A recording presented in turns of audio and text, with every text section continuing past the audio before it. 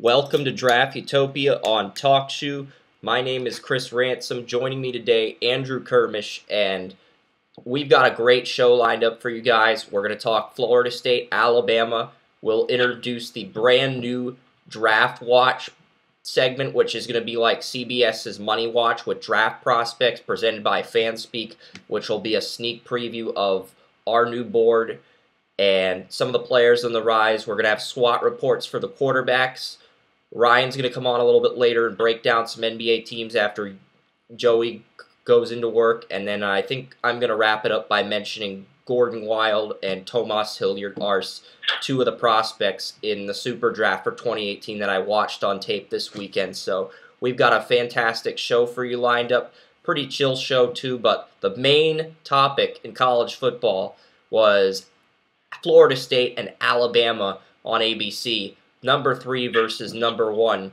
And since Kerm's team's Alabama, my and uh, I figured I will talk about what Florida State did well and what they did horrible in, and then I'm going to let Kerm talk about Alabama. So with Florida State, they actually kept this game relatively close in the first half, and it looked like they had more success when it came to executing and getting basic first downs. And I really did like Auden Tate's catch over Minkah Fitzpatrick. I was more impressed by that than I was by Calvin Ridley's big playability because none of the big plays he made came against Tarvarus McFadden, who I really like at cornerback.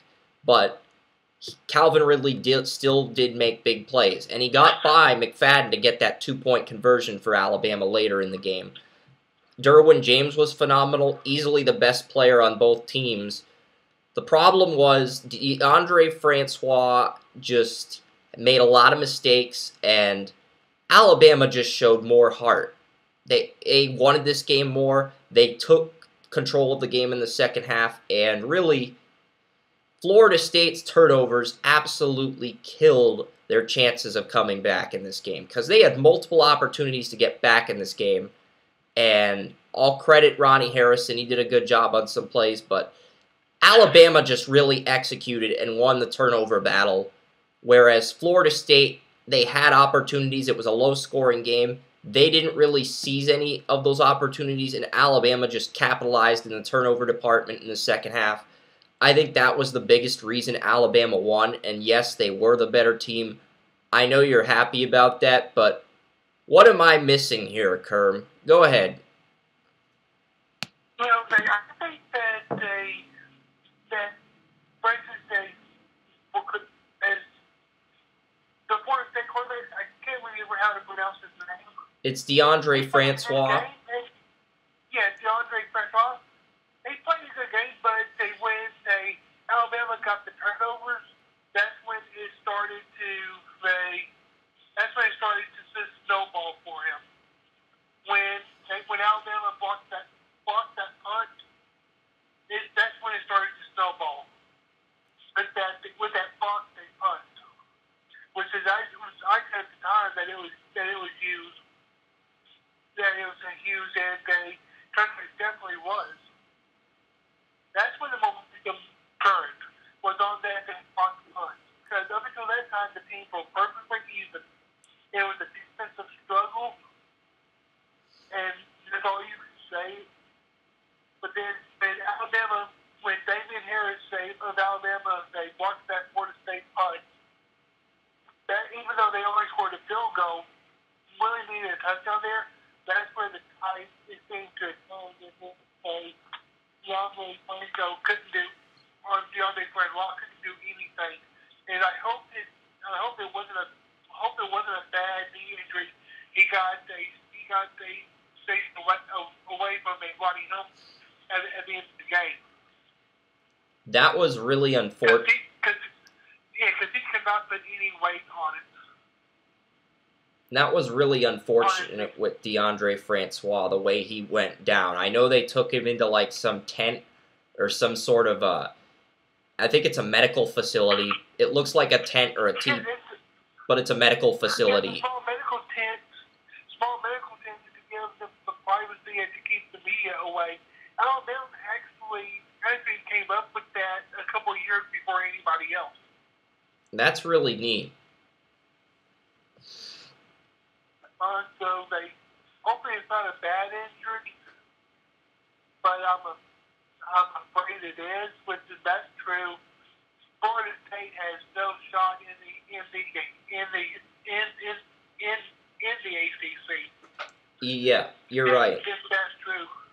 If that's true. If this injury is as severe as you believe it is, then Florida State is out, and it's probably going to come down to the Clemson Louisville winner in two weeks because whoever wins that game in week three will have a pat, a cakewalk path to the ACC championship with uh, Francois being injured because you look at Deondre Francois.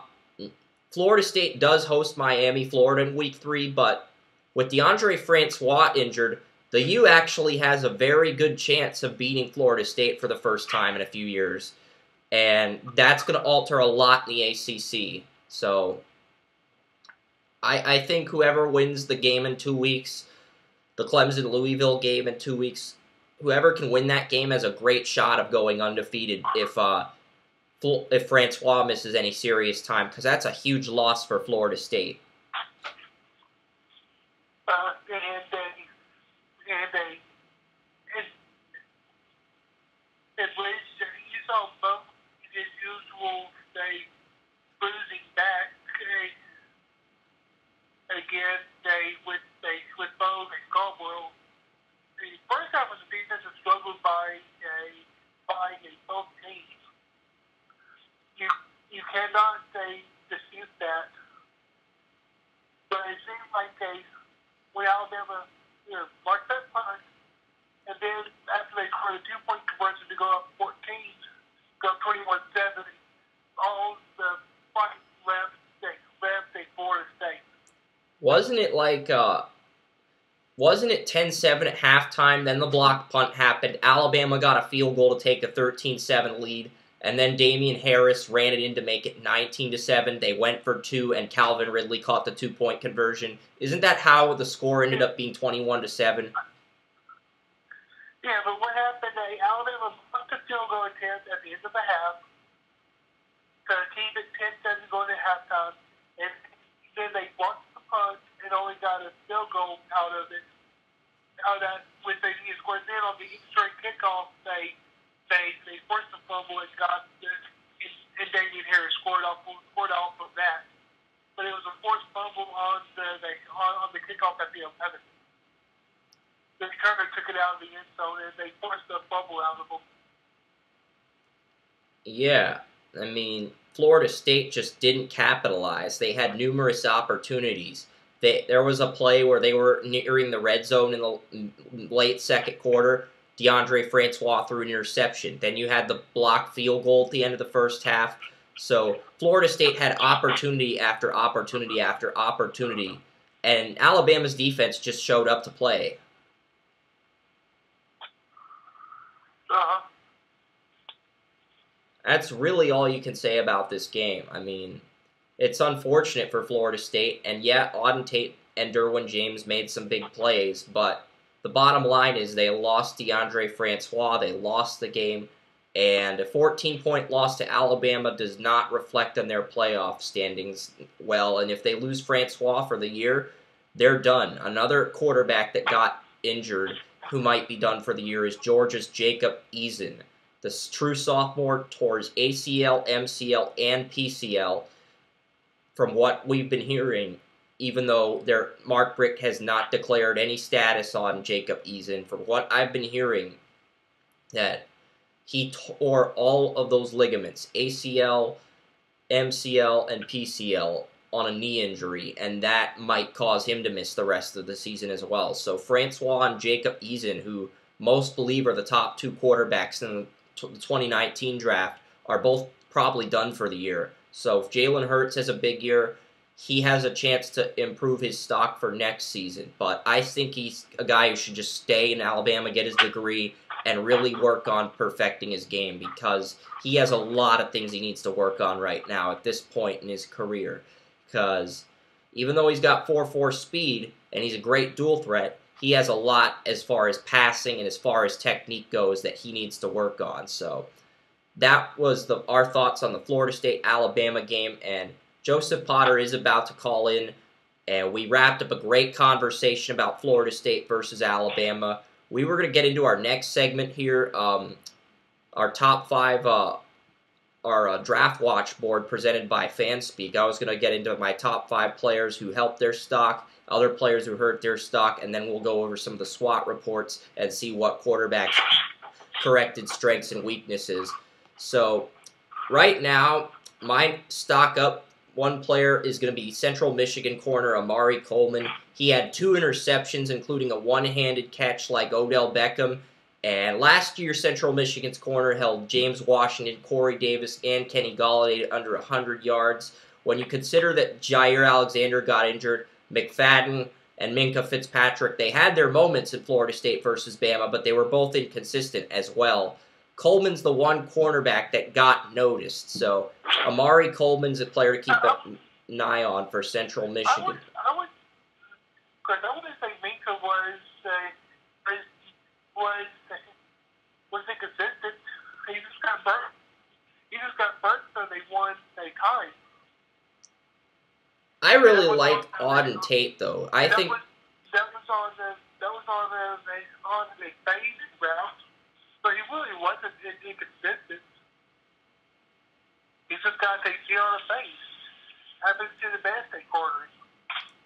I talked to other people that disagreed and thought he didn't play with enough intensity in this game. So Minkah's first game was a mixed review. He gave up the touchdown to Auden Tate on the uh, play in the red zone, and there were some other plays where a few receivers got by him, but he really didn't give up any big plays like any 30, 40, 50 yard deep threats. He didn't give up a play like that, which is good. And that's why I don't think he falls out of the first round yet because of his variety and versatility. At the same time, he did give up a touchdown. He did give up a few plays. He's more of a mid to late first round guy like Marlon Humphrey than a guy who is top five or top ten material.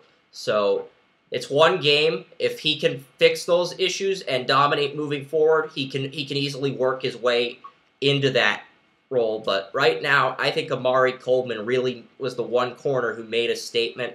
Um, Jake Wieneke out of South Dakota State had four receiving touchdowns on six receptions versus Duquesne. He only had 75 yards, but this is a guy that we talked about last week in the mock draft show. Jake Wieneke, Joey him the Patriots. So He's a guy I really like on tape, though. Very consistent. Just seems like an all around complete blue chip receiver, even though he plays for an FCS school in South Dakota State. So we'll see what Wieneke does this year. We'll see what he does in Mobile. We'll see what he does at the Combine. It's going to be a step by step thing with Wieneke, just like it was with Cooper Kupp. He can have all these dominant games in the FCS, but if he doesn't dominate against NFL competition, none of it matters on his draft resume. So we'll see what Wieneke does, but he's a player who's on my radar. Um, next player um, is Drew Lock out of Missouri. He didn't make our quarterback SWOT report rankings, but this is a guy I've heard great things about. Um, 521 passing yards against Missouri State. My thing is, he struggled against LSU and Florida last year, and his performances against SEC teams were pretty inconsistent. So he needs to play well versus quality competition. But with his size at 6'4", 225, with his ability to take snaps under center, he's on the radar. He's a blip on the radar, and if he does well versus the SEC this year, he could surge up boards like Blaine Gabbert or Mike Glennon did. Doesn't mean he'll make a substantial well, impact in the Chris, NFL, but he'll surge. He might surge. Chris, let me put it this way. If Florida plays the rest of the season like they played yesterday, he won't have a problem against Florida.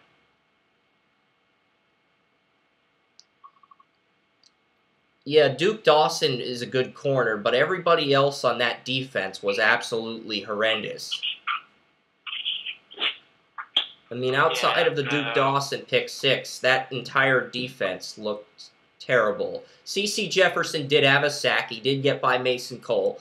But other than those two players, Nick Washington disappointed. He was supposed to be the next Marcus Maye. He disappointed, and everybody else on that defense just sucked. So there's no sugarcoating it. But maybe I think LSU is probably going to be the bigger challenge for Drew Lock, though, since they have Kevin Toliver, they do have Ed Paris. LSU is a team that kept Lock from getting any rushing or passing touchdowns last year.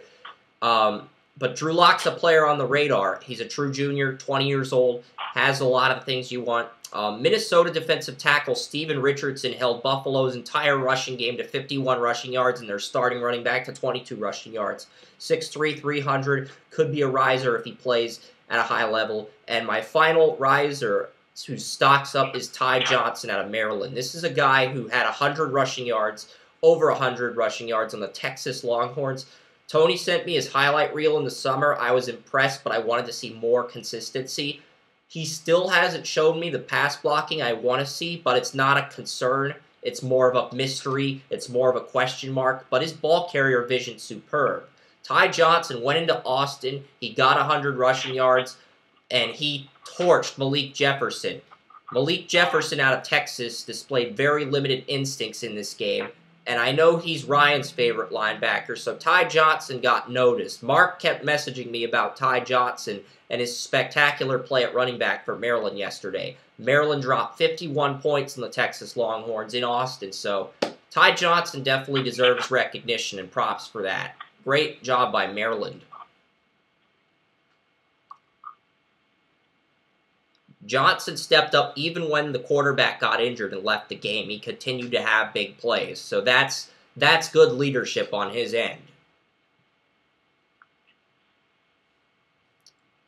All right, now we'll talk about some guys who, um, before we get to the quarterback SWOT reports, we'll talk about some guys who hurt their stock. Let's start in Pittsburgh with Jordan Whitehead. This is a guy who got suspended the first three games for a DUI back in July. And Youngstown State pushed Pittsburgh to overtime because Jordan Whitehead decided to get a DUI. And it feels like this happens every few years. Once Pitt's about to get a first round prospect, they have to go get a DUI and really kill their stock. It happened with Baldwin. I think Baldwin still ended up going in the first round, but he ended up being a huge disappointment.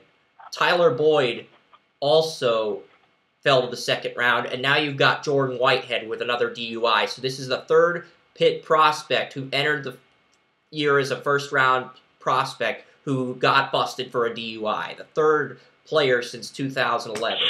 And that's a little bit concerning. I'm not sure how that affects well, Pittsburgh's reputation, but it's unfortunate to say the least. Here is how it affects Pittsburgh's reputation. Says the coaches aren't that smart. Beginning of the year, what do you do? You tell all your players, kids, this is the age of technology without your smartphones. Have them without their smartphones. Have them download Lyft and Uber. Kids, if you're going to go out drinking, just tap the app. Very easy. Put in where you are, where you're going, and wait. They'll get you there. No problem. DUI avoided. That's all you need. Yeah, but the, appeal to their sense of technology. You'll have them. Yeah, but I mean, I know coaches are around 60 years old these days. I mean, they don't understand this stuff. But, we have to know, innovate. We have to make sure these kids are making better decisions. Joey's right. Yeah, yeah, you, you gotta think like a 15 year old high school girl. I'm sorry. Yeah, but Joey, I would say though, yeah, you can tell them to do that, but uh, you know it's really about uh, most most twenty year twenty you know, most college age kids think think that they are think that they are invincible. They won't think to do that. It doesn't because matter whether you think to that. It's your job as a coach to put them in position. Yes, I say you can tell them to download that app, download apps, but how many will actually use the app because they think that they're invincible and can do whatever? Well, if that's the case, then as a coach, you know, you did your job, which means you can kick their ass off the team. Yeah, you basically set a standard and say you download Uber on your smartphone or you lose your scholarship. That's the mentality you have to have. Because here's the thing about scholarships, Chris. Everybody says, hey, you got a four-year ride. No person in the history of school has ever gotten a four-year ride. Scholarships are year-to-year scholarships. They have to be renewed every year. The school can rescind a scholarship in a year simply by not renewing it. So every scholarship, they can say, you get a four-year free ride. But no, no, no. That's misinterpretation. That is what the school will tell you, but that's not actually the truth. They choose not to renew any scholarship. yeah, Joey, they have to they have to choose not to renew some scholarships because they at least in college, at least in Division One FBS, you allow 25 scholarships, uh, but you only allow a total of 85 players on that, that, that that's on that's on a that's on a scholarship. Yes, and also for academic reasons and so on and so forth. So, and I another mean, reason, if you have like say you have another timer they want who's uh, who plays both football and baseball, he, or you know, you got a guy that's low level got mainly a baseball scholarship but also plays football. He's a, a scout team player and stuff. His baseball scholarship counts as counts as uh, also counts as uh, a as uh, a football one. yeah, because the scholarships aren't actually for sports, they're for the academics. So they can say, well, we brought it in and gave you a scholarship for football, but that doesn't matter because that scholarship doesn't pay for your football, it pays for your education. So it, I mean, basically, it's only one scholarship per person. But if they play two sports, well, it would count for two sports then, wouldn't it?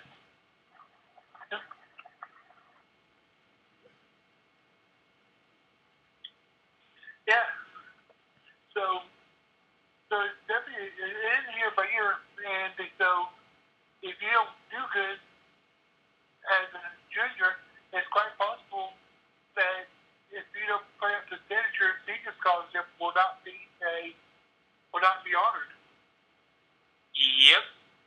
So, anyway, well, this is all interesting, well and good. Let's get back to some of the Uh, other we're have to go prospects. early, so let's get this thing on the road. All right. Next prospect who hurt his stock is Connor Williams out of Texas. I know one of my friends said he's better than Mike McGlinchey on tape, but his ability to maintain blocks is terrible, and his foot speed might be better, but he has small arms. Garett Bolles had big arms. That's why he benefited from having good foot speed because he, his ability to maintain blocks needed work, but he had long arms. That's why he was able to make it work. Now, with Williams, he has short arms. He's 6'6", 320, and he if he kicks inside to guard, he's not going to have the pad level to go up against defenders. You move him to right tackle, he might not have the strength to maintain blocks. And he's not an NFL left tackle based on the tape I've seen against Maryland, but he's versatile enough to play both right tackle or guard because they at Coppell High School they put him at four of the five positions on the O line. I'm just not sure where Connor Williams is going to end up converting to in the NFL, but he's not the tackle that's going to challenge McGlinchey to be the number one offensive tackle. McGlinchey just dominated versus Temple, and Connor Williams laid an egg versus Maryland. Next, we have Harold Landry. Harold Landry went up against the Northern Illinois team that lost left tackle Levon Myers to graduation. With Arden Key injured, this was Landry's window of opportunity to have a statement game where he could have two, three, maybe even four sacks. Landry played so sloppy in this game that he actually put the left tackle that replaced Myers on the map, on the draft radar. He got pushed back by Northern Illinois' left tackle four times, no quarterback hurries, no sacks, no tackles for a loss, no top five pick. He was not even double teamed in the contest, and Landry just had a very sluggish game. Now, I don't think this affects his first round status, Joey, but at the same time, he's not going to go top five now because this is a game where if he showed he could correct his swim move, build on the sacks and momentum he had last year, he'd go top five. Now Harold Landry is no longer a top five prospect. He's, he can still be a top 10 or maybe even a top 15 prospect, but he's no longer a top five prospect th- thanks to this game. unless he really turns the corner and dominates in the draft Think process. because it's the first game of the year. If he has a couple dominating games against tougher competition, that puts him right back in there. Yeah, he did well versus Mitch Hyatt last year. He did well versus Roderick Johnson and Brock Rubel last year on Florida State. He did well versus some teams who had good left tackle situations. So if he rebounds, he does well versus Clemson's Mitch Hyatt. He does well versus teams with really good left tackles. He's back in the conversation. But he's got to have a big game versus Clemson, where he has two or three sacks versus Hyatt now, because the pressure's on him after this game. Remember, everybody listening, you have to remember, the first game only really matters in sense of this could be a make or break for potential franchise quarterback. Potential franchise quarterbacks are held to a different standard than everybody else. So, one game is not going to make or break your draft stock unless you are a quarterback and you just completely bomb against terrible competition. All right. We got two more players to get to. Um, Archie Lewis out of Boise State. This is a guy who entered the year as the starting left tackle. He got beat out for the left tackle job by a freshman redshirt. When you're a senior, you have great left tackle tape as a junior, and you get beat out by a freshman. That's not going to reflect well on you. You're supposed to be the leader of the offensive line. You're supposed to set the standard and you lost the job at left tackle to a freshman. That's not good. Better be the number one overall pick at some point.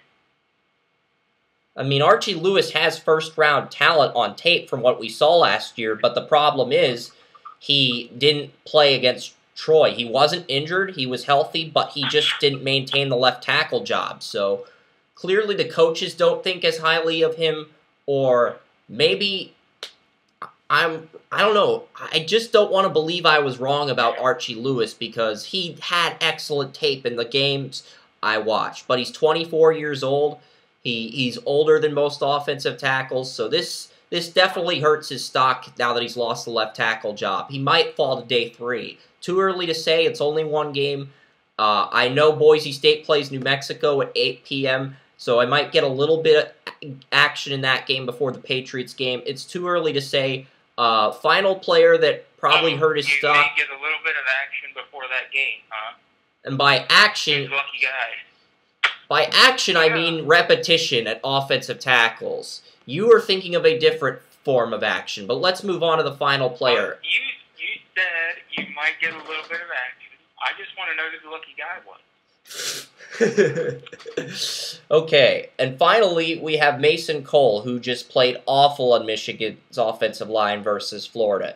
They moved him back to left tackle, and that was a horrible decision by Jim Harbaugh and his staff because this guy is barely over 300 pounds, and you're putting him at left tackle against SEC competition. That was a horrible decision by Harbaugh.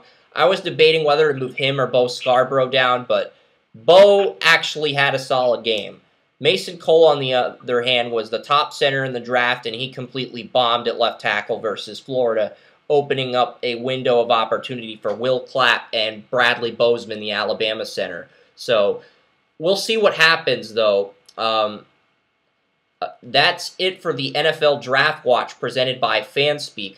We're going to get into the quarterback SWOT report rankings now, and what I'm going to do is I'm going to point out some of the flaw, strengths, weaknesses I saw with these quarterbacks, and uh, what I'm going to do is I'm going to ask Joey if he thinks they've corrected their weaknesses or not, because I feel like this is a team, this is a situation where there's a lot on the line.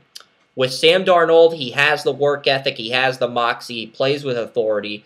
The, one of the weaknesses, though, is he has inconsistent accuracy. There are times where he's money with his throws, and then there are times where he'll underthrow a screen pass or overthrow a deep ball. And that's why I believe saying Sam Darnold has pinpoint accuracy is foolish.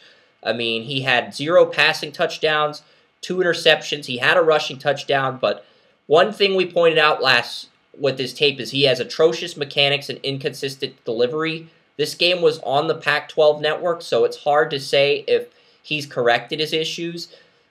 I do believe that his mechanics look better, but at the same time, he just looked awful. Now, with Western Michigan, they do have two NFL draft prospects on their secondary that Ryan found. So, Darnold didn't get any time from his offensive line. The offensive line collapsed without Chad Wheeler, Zach Banner, Damien Mama. The wide receivers kept dropping passes, and a lot of people in the draft community want to give Darnold a pass for that game because his receivers dropped passes even though he was making the right throws. So, what are your thoughts on this?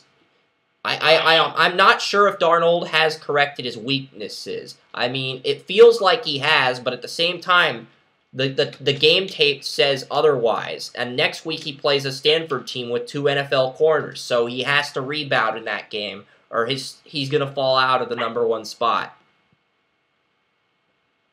I haven't watched the tape, but from the stats that you were sending me in the update, he looked like he'd be a mid to late first round pick, just based off the stats you sent. Well, he so finished. The, there, but the uh, stats indicate that he, with the mechanics that have created the inconsistency and the poor throws and the potential for turnovers. So I need to watch the tape, but from what you sent me, it, doesn't look good. Yeah, and he did finish the game on a high note. He went 23 for 33, 289 passing yards, zero passing touchdowns, two interceptions, two sacks. He had one rushing touchdown, which tied the game at 21. Completed 69.7% of his passes in the game. Had more yards per attempt. But at the same time, his longest throw of the game was 42 yards. Last year, his longest throw was 67 yards. This was a really passive game on Darnold's end, and we'll see, because this is Darnold really interviewed well on uh, Adam Schefter's podcast, but I, I don't know if he spent enough time fixing the mechanics or what not, because Western Michigan was actually ahead at one point in this game. Western Michigan was ahead until the fourth quarter of this game. So the fact that Western Michigan led at halftime and led for most of the third quarter, that doesn't hurt Darnold's case. I mean, USC is a team that's supposed to beat Western Michigan by uh, 20 points in the first half. They're supposed to be that team, and they weren't that team yesterday. That's the kind of performance you want to see from Darnold if you want to cement him as the number one pick, and he didn't show that. So that's a little bit concerning. I'm not going to take him out of the top five yet, but I don't think he's going to go number one overall now. And if he struggles versus Stanford, he's probably going to fall to the mid to late first round, like you suggested, Joey. Any thoughts on that before we move on to the next quarterback? Let's move on. All right. Next up, we have Lamar Jackson. Now, Lamar Jackson had a lot of very good qualities on tape. The field vision can make one step, three step, five step throws, can make up to four progressions, can attack the hole right away on a running play if he doesn't see. Uh, his excellent production allowed him to win the Heisman. The one things he needed to work on was improve his completion percentage, complete passes more consistently. He held onto the ball for too long at times last year. Um, Lamar Jackson versus Purdue. He traveled to Purdue, and right now it's interesting because Lamar Jackson he went 30 for 46.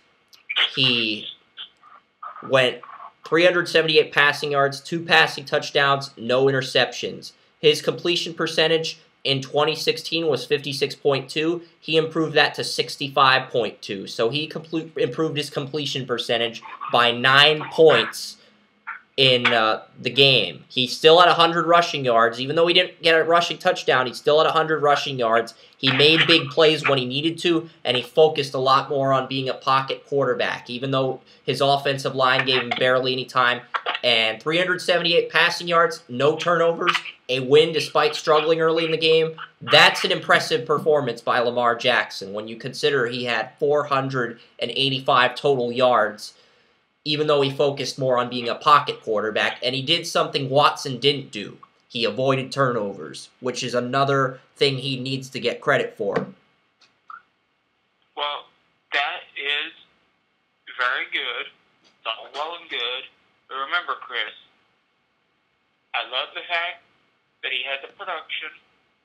I love the fact that he was focusing more on his pocket presence in the off But you have to remember that completion percentage is one game. I've seen people with 80% completion percentage one game and 51% completion percentage the next. One game. It is. So, and Mahomes had like 70%, but that declined over the year. So it's one game. It's a week to week basis. So it's great that he improved his completion percentage, but at the same time, he plays uh, Clemson in two weeks, and Clemson was the team that handed Louisville their first defeat last year. So week three, Lamar Jackson plays Clemson. If he can maintain that completion percentage, is he the number one quarterback? If he can maintain that completion percentage through the next game and through the Clemson game, is can he be the first quarterback drafted? If he maintains that completion percentage and leads Louisville to a 3 0 start and maintains great numbers. remember, consistency is what it takes. Consistency. That's what I'm saying.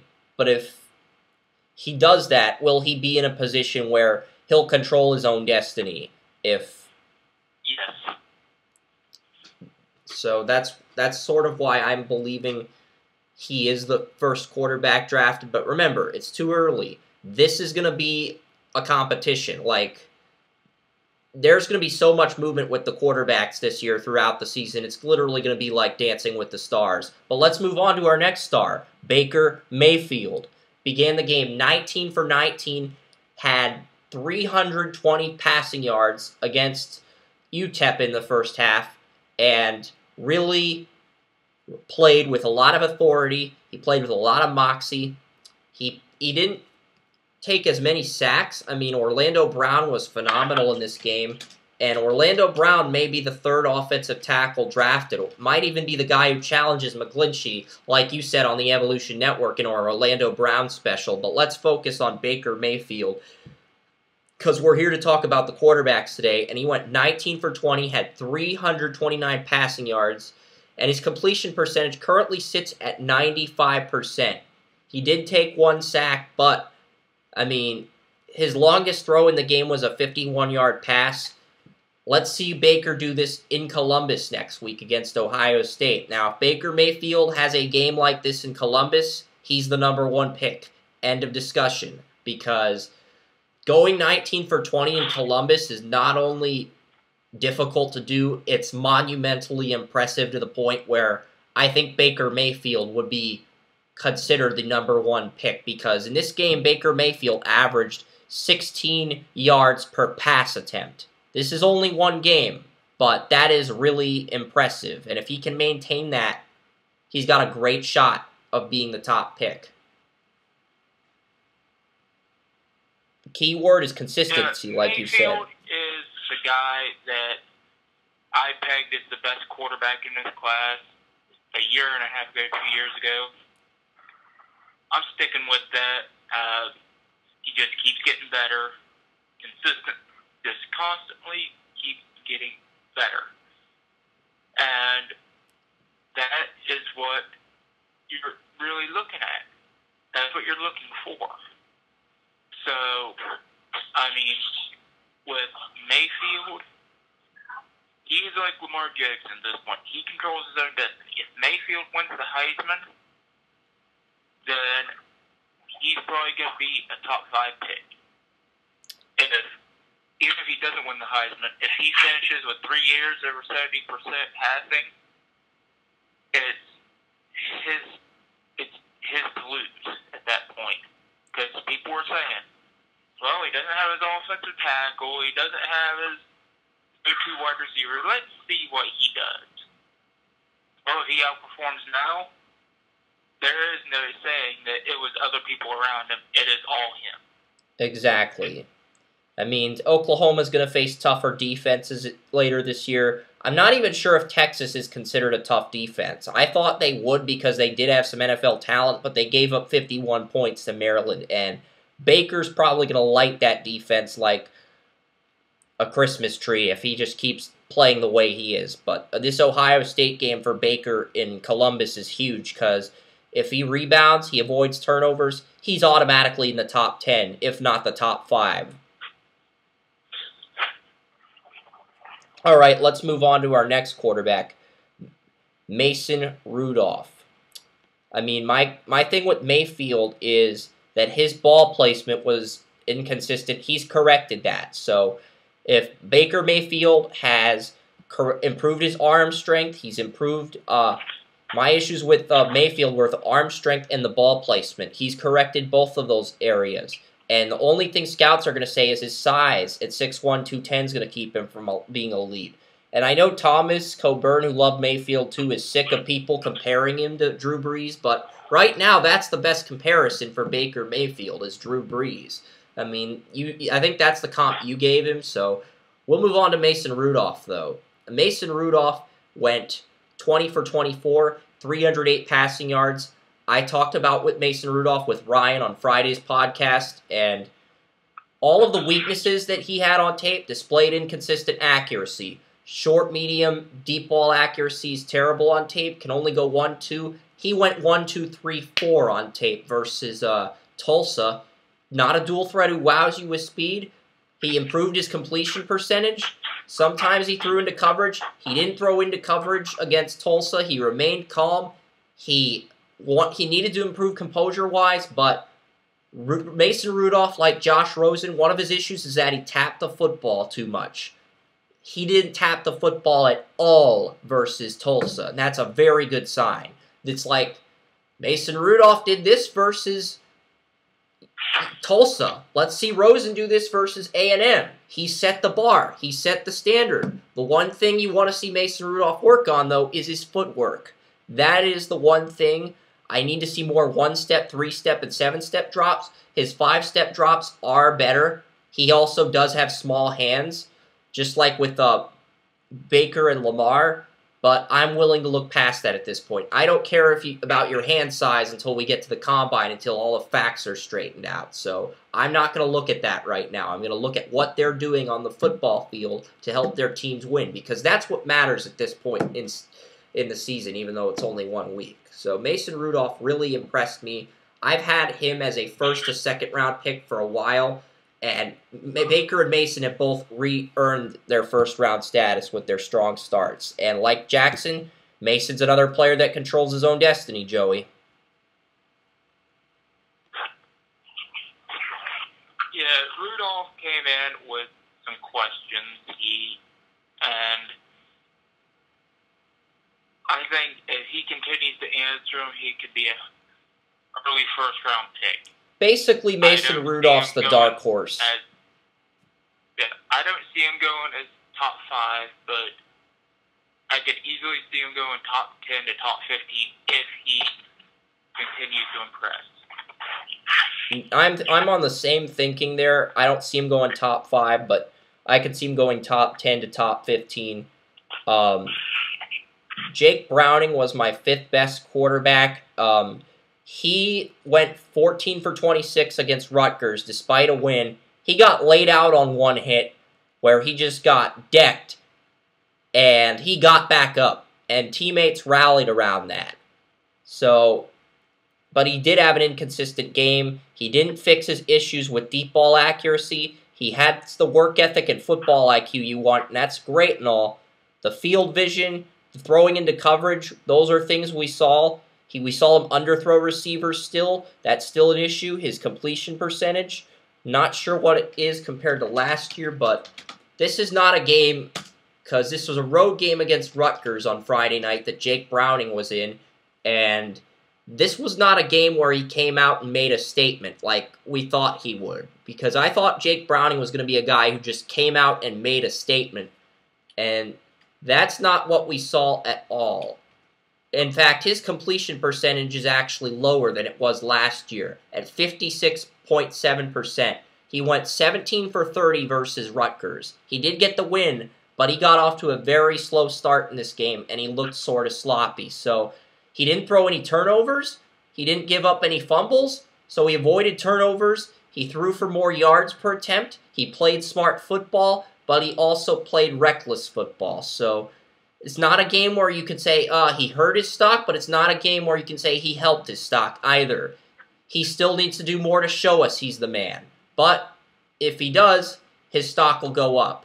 So right now, I'm going to leave him where he is in the early round two range, but I'm not going to move him down or up. I'm just going to wait and see what he does because that's really all I can do at this point with him.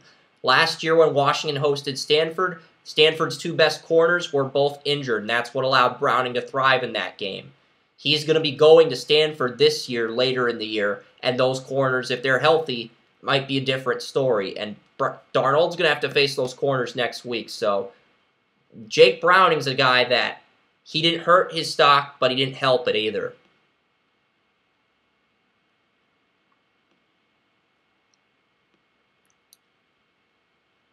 What? Any yeah, thought? You gave a mixed uh, signals about him all yesterday, and I haven't seen the tape, so I'll reserve judgment there.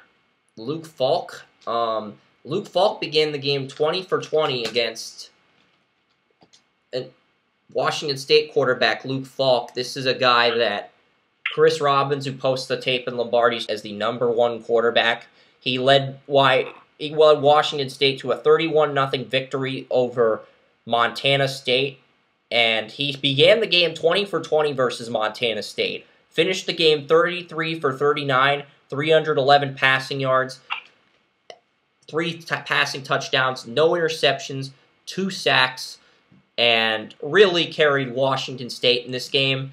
He improved his yards per attempt. He improved his completion percentage. And this is great and all, but every quarterback in this draft has at least an average of 8 yards per pass attempt. Luke Falk's yards per pass attempt is still at under 8 yards entering his senior year, which operate from a West Coast offense under center. You want to see him utilize the deep ball more. Luke Falk can have all the video game numbers he wants this year. The point is, scouts aren't really going to care unless Luke Falk shows he's that man in Mobile. He shows he can play under center. He shows he can make more deep throws. That's what scouts want to see with Luke Falk. And I feel like Luke Falk's a guy who can have all the very good statistics in the world, but he's not a guy that scouts are going to put on their radar unless he has a big week in Mobile like Carson Wentz did two years ago. Because he does some good things. He can read up to six progressions. There were at least a dozen plays against Washington last year where Luke Falk read five progressions. But none of the quarterbacks in the draft were that consistent at reading progressions. But he struggled versus quality opponents. He doesn't play in a West Coast offense, and he's still one dimensional because he's a pure pocket QB. And while that's great and all, you want to be you want to see him have good games against good competition. That's something he struggled with. He didn't have good games against good competition footwork's an issue. His ball placement is getting better. He needs to place the ball higher, but he's getting better in that regard. So, I mean, Luke Falk could jump Jake Browning and move into the first round, but I'm going to leave him where I have him behind Jake Browning at the moment because I want to see what Luke Falk does versus a better opponent. Montana State's not an opponent where you can say, "Oh, Luke Falk went 20 for 20 against Montana State.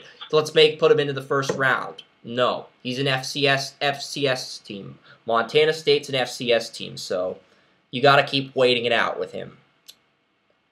Next up, we have Josh Allen, the guy who got overhyped big time, the guy who was number one over Sam Darnold on Matt Miller's initial 2018 rankings. And I believe this is the most overrated quarterback in the draft, but at the same time, he's a guy who has borderline starter potential but he has a lot of things where he has the physical tools are there, the massive hand size, which is going to get scouts to love him. There's a variety of offenses. There's a lot of things he likes, but the accuracy with Josh Allen is still an issue with me. And Josh Allen's game versus Iowa was not good. So, stymied in a first tough test. So, I know the, the the ringer is saying it's too early to judge Josh Allen or Sam Darnold, and while that's true, Josh Allen was just horrendous 23 for 40, 174 passing yards, zero passing touchdowns, two interceptions, three sacks. His offensive line did not give him any time in the pocket. His uh, receivers dropped everything that came his way, and Dane Brugler of CBS basically implied that Josh Allen deserves a pass for this game because he he's the leader of this team, but there's nobody else around him, and that's why his numbers were terrible. So it's not him, it's his team. And that just that just seems lazy to me. Allen's the quarterback. He's the team captain. He's the leader. He's got to make something happen. A 24-3 loss to Iowa in Kinnick Stadium is not a good way to start the year. And in 2 weeks, Wyoming has a home game against the Oregon Ducks. So if Josh Allen struggles there, every other draft analyst in the country who has a first round grade on Allen is going to move him down to the second round where I have him. And at that point, I might move him down to the third round. So it's looking like Josh Allen's going to become a day two pick because all the things that I had listed as flaws in my SWOT reports, like the accuracy and his decision making is terrible, how he doesn't recognize coverages, he didn't correct any of that. So that's a bit of a concern. Yeah, but yeah, we'll see. The the entire thing with Allen is that he has a lot of things going for him, but same thing with Darnold. We have to see because that's the uh,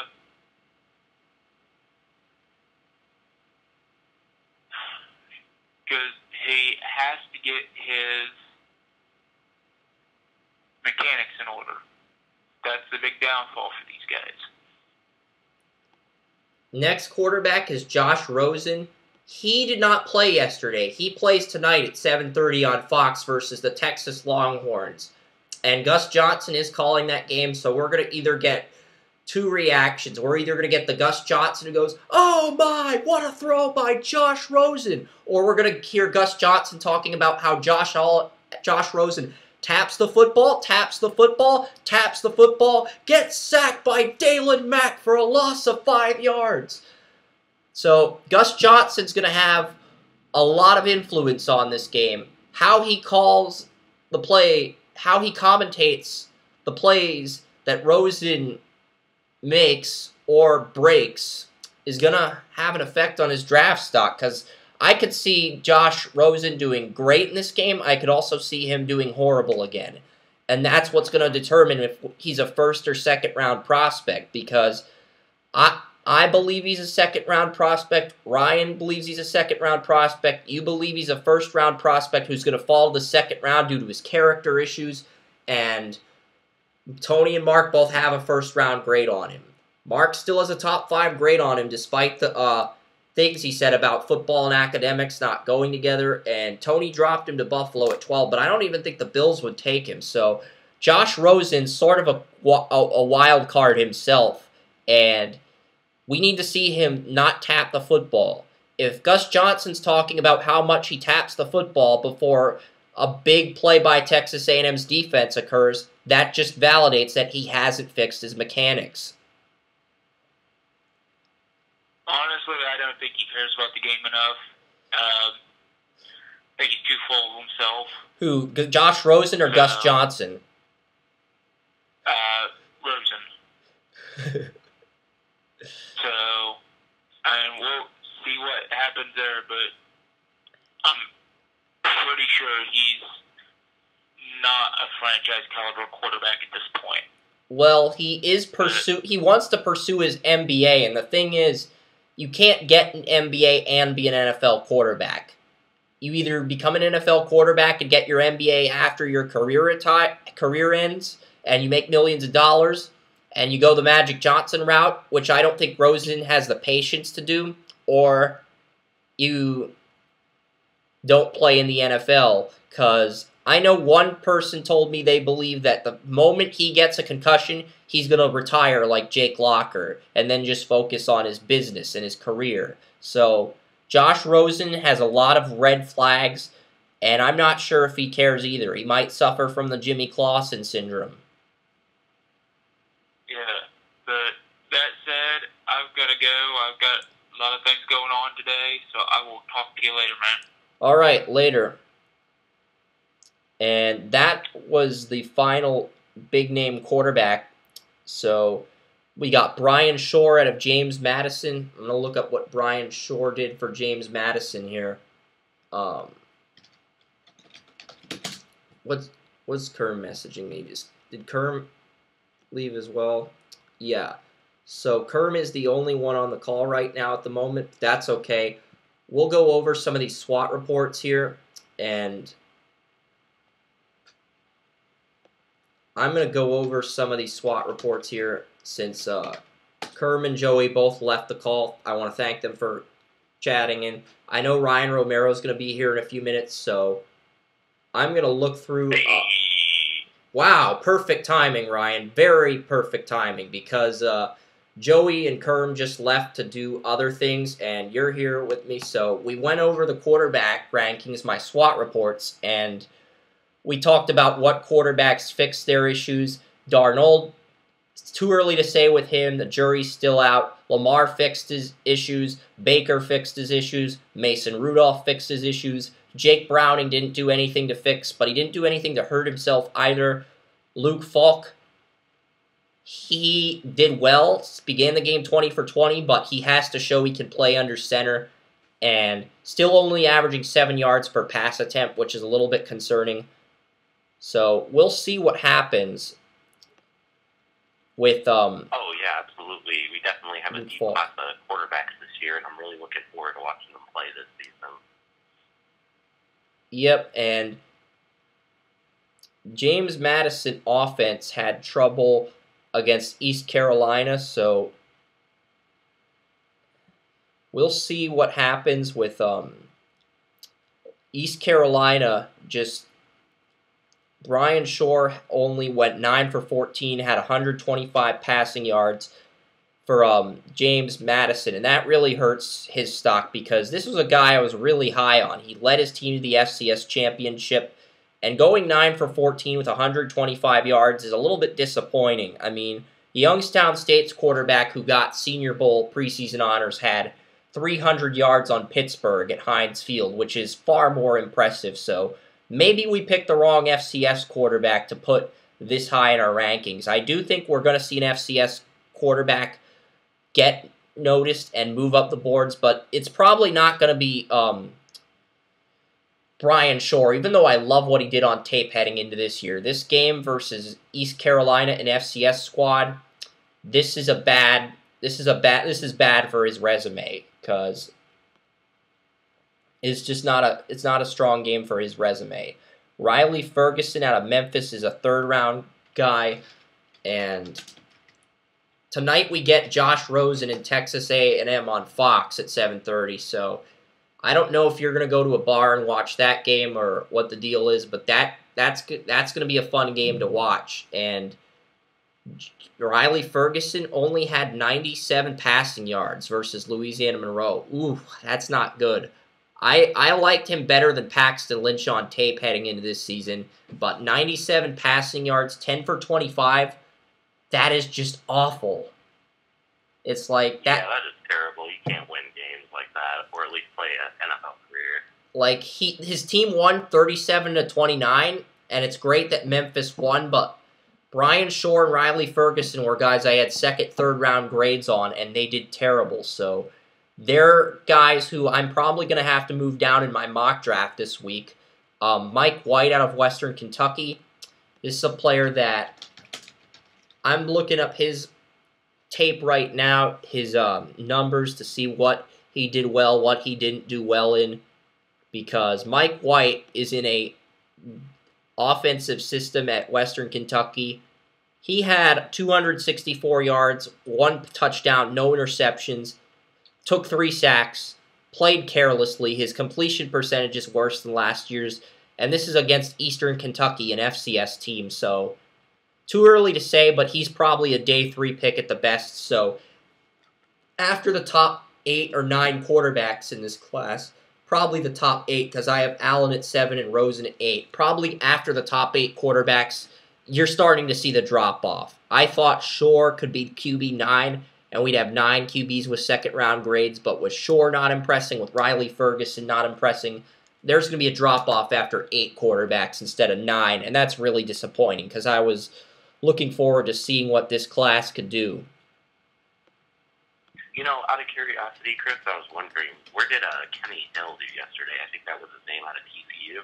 I did not have him in my FanSpeak. I, I actually I do have him in my FanSpeak board. I just don't have him on my I didn't do a write up on him because he was one of the guys that was undrafted, but he didn't make the cut. So I will get Kenny Hill's information up because I know you like Kenny Hill. I know Ken likes Kenny Hill. I know Thomas likes Kenny Hill. So he actually had an impressive opening day, but he plays Arkansas in a really tough test.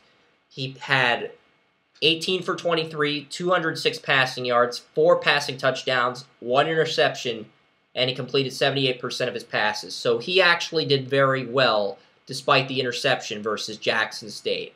Next week he plays Arkansas though, and he only had 206 yards. He didn't have 300 yards. He didn't wow you with arm strength, but he made good decisions. So Kenny Hill's one of these guys that he doesn't have the best arm, but he's accurate. He makes good decisions, and he can be a dual threat which is why a lot of people like him. I think he can be a solid backup in the NFL. I, you know, Chris, I agree with you on that. I was about to say, I'm like, he may not be like the most uh, strong quarterback as far as being able to air out the ball, but he definitely makes smart decisions. And to me, that's game management, and that's the kind of quarterback you'd want in case your guy goes down. Yeah, he could be a good backup. And Jarrett Stidham out of Auburn, they play Clemson next week, and Jarrett Stidham had an up and down. He had three touchdowns and a pair of turnovers in his first game. And Jarrett Stidham, I know some people had a first round grade on him. I had a fourth round grade on him simply due to his lack of experience, but he was going to be my riser. So he didn't show that this week. Um, Logan Woodside had a sloppy opening game. Quinton Flowers out of South Florida. I'll take a look at him now.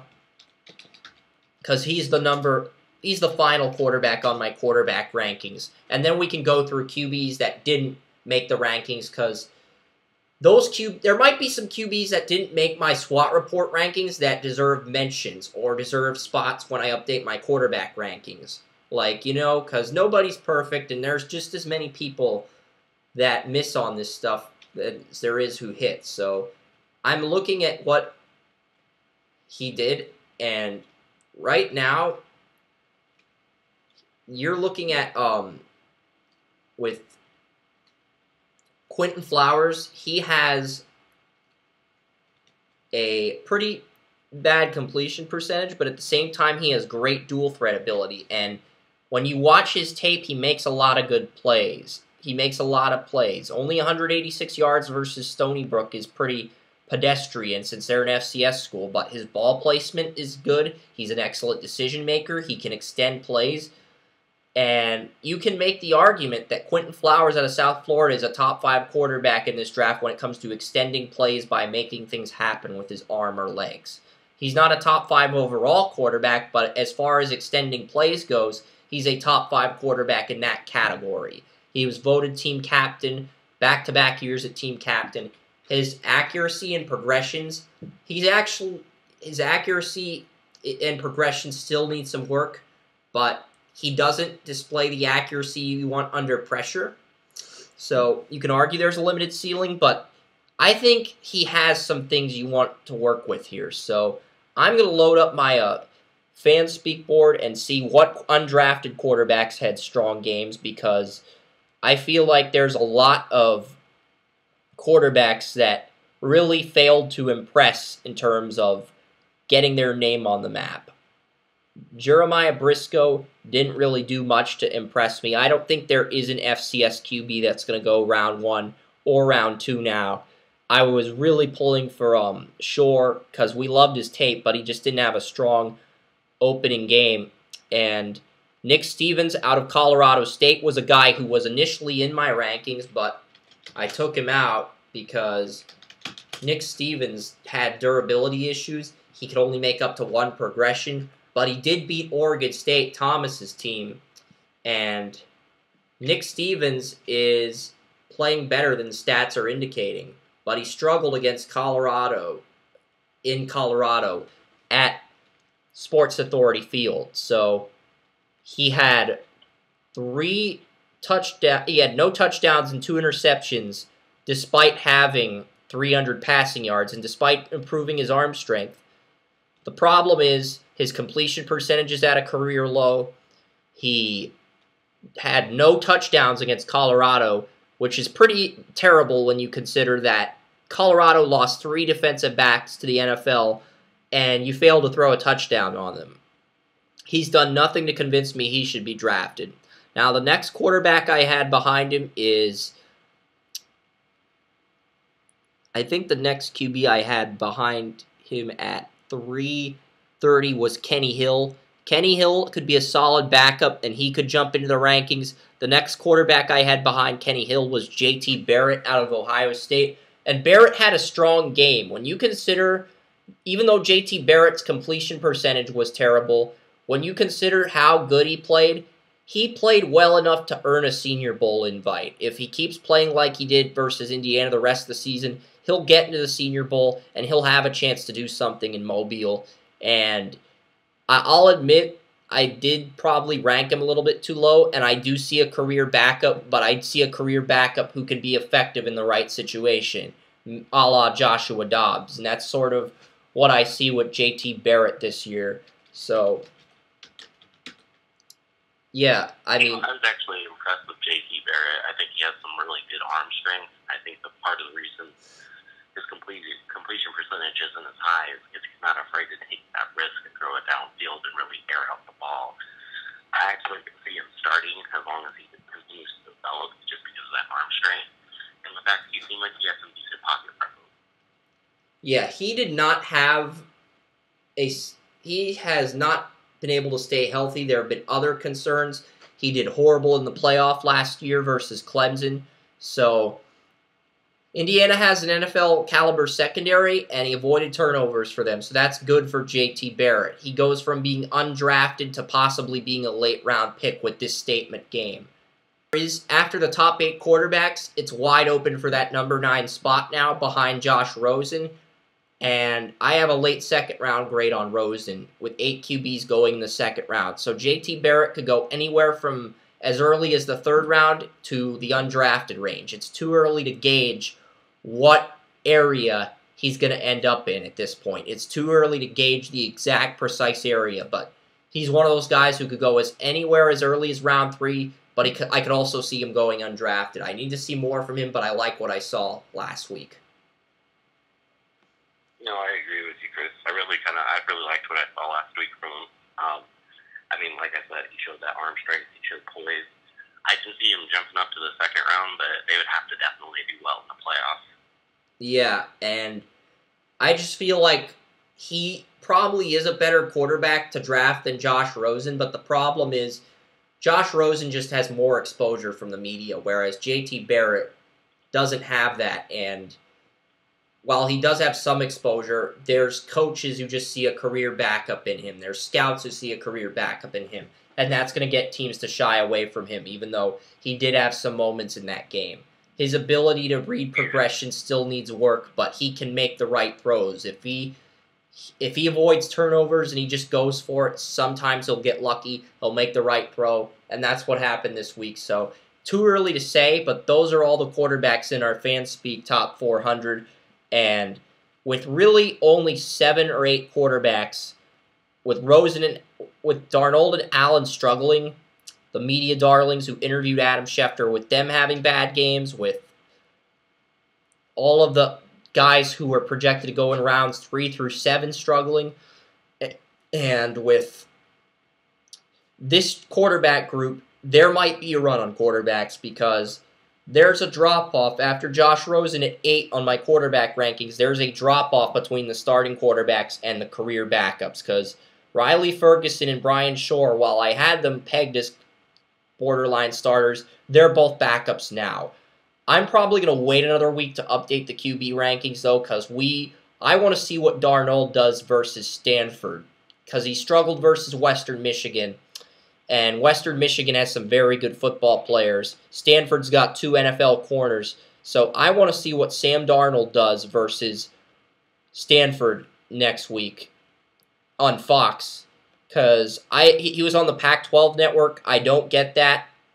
The one thing I will say is after today's podcast, they have a lot of college football games up on YouTube. There's this one YouTube channel where they condense all the three hour games and they put them into 30 minute games. So you can watch tape in those games and catch up on everything you missed yesterday with your off day from work with no NFL on until next Sunday. So there's a lot of good things to um, say. But that's it for the QBs. Um, I was going to give you the rest of the show to talk about some of the NBA divisions. Um, I know the NFL is. A, Go ahead and break down the NBA division. all right, we broke down the Atlantic Division yesterday, and let's break down the next division, the Central Division. Um, we can start with the Chicago Bulls. Uh, is this team going to be a borderline eight seed, or are they going to be picking in the lottery range again? I'm gonna say lottery range. I say that just because Dwyane Wade's getting a little bit older, and then they lost um, some of their key players as well that decided to depart. They got rid of Jimmy Butler. I mean, really, there's really no upside or hey, who's that guy that they really want to build around type of person. They got some really good players in the trade. They got um, some really good prospects from the NBA draft. In Providence, point guard Kris Dunn. They got. Um, they also got the Markkanen out of Arizona, but if those two guys don't step up, this is going to look very poorly on their end as far as trades and negotiations goes. You know, it sounds like based on the Kris Dunn and then uh, Lauri getting picked like that, I feel like they're trying to build a good like foundation for a solid pick and roll team.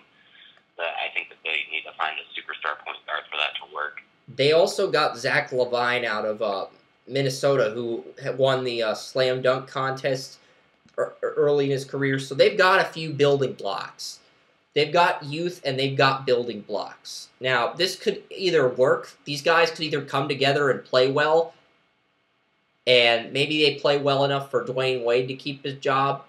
But there's also the possibility that this could be a disaster because Zach LaVine's probably not going to play. Even though he did well, he's probably going to be a bench player to Dwyane Wade because Dwyane Wade's getting up there in age, and LaVine's a guy who can average 10 points a game, but he's probably going to be used as a bench player to Dwyane Wade. I don't think Chicago's going to get the most out of um, Zach LaVine unless they move uh, someone to the three, and that's the big issue because I know because that's the issue. Jimmy Butler could play the two or the three. Chicago really doesn't have a guy who can play the three. They have uh, McDermott as their starting small forward. He's not that great, and they're basically going to have to if they want to get the most out of their starters, they're going to have to put LaVine at the two and Wade at the three. And Wade's not a natural three. So I feel like that's still an issue. Even though they do have some long term pieces, they also lack a starting center. And Dwyane Wade's not happy, so that could hurt team chemistry. So you're, you're they're a team I'm on the fence about.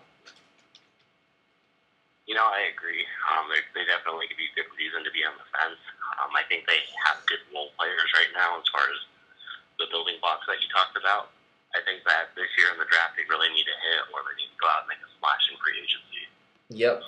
Next up, we have the Cleveland Cavaliers. And we talked about this team on Friday, Ryan. We said they're a divisional round team at best. Uh, they got Isaiah Thomas to replace Kyrie Irving.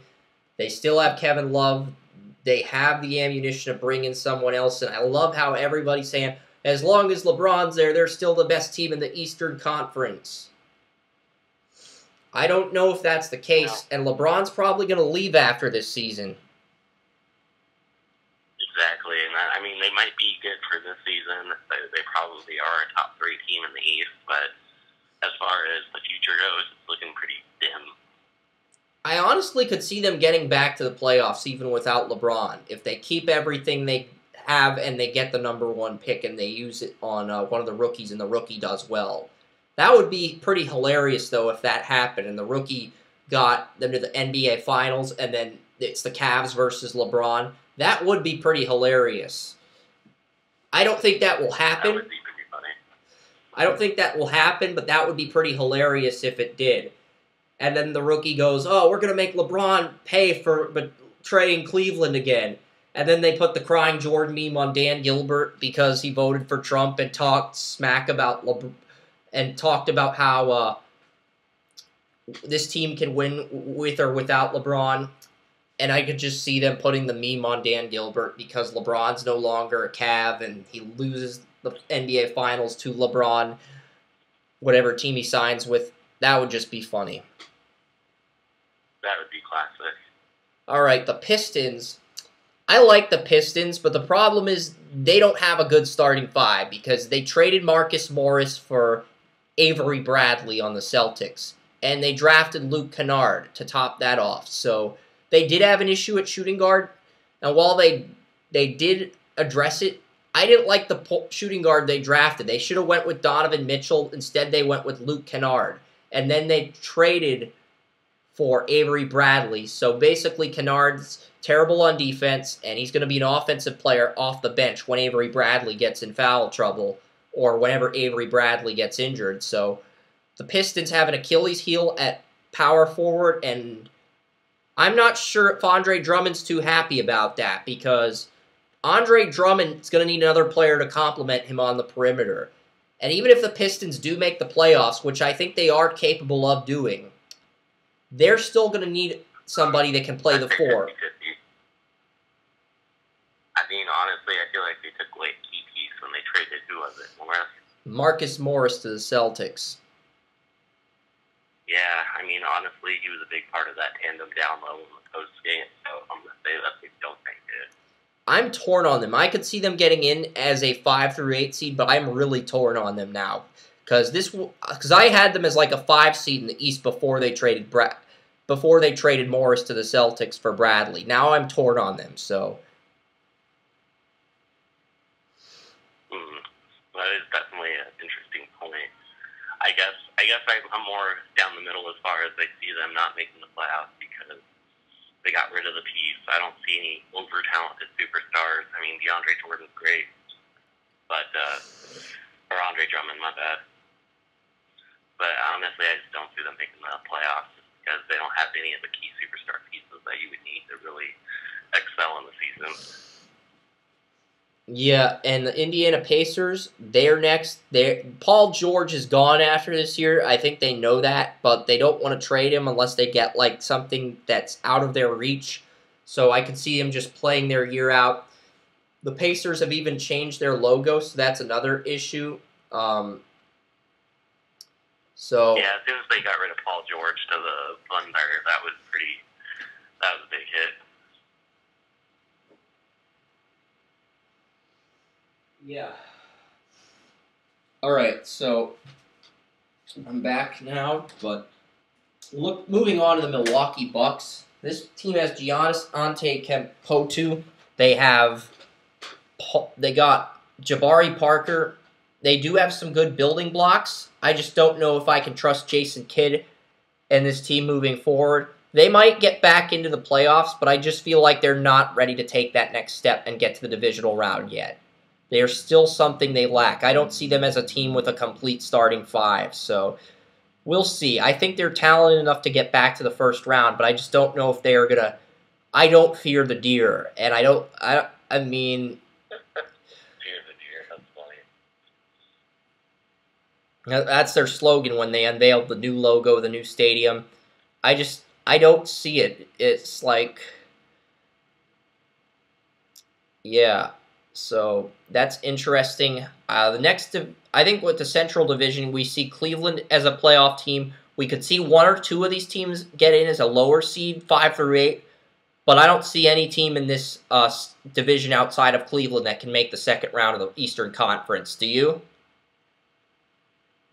You know, I, I I can see Toronto, Cleveland, Boston. Those are pretty much the top three teams in the East. Um, Yeah, I was talking Charlotte about kind this. of borderline.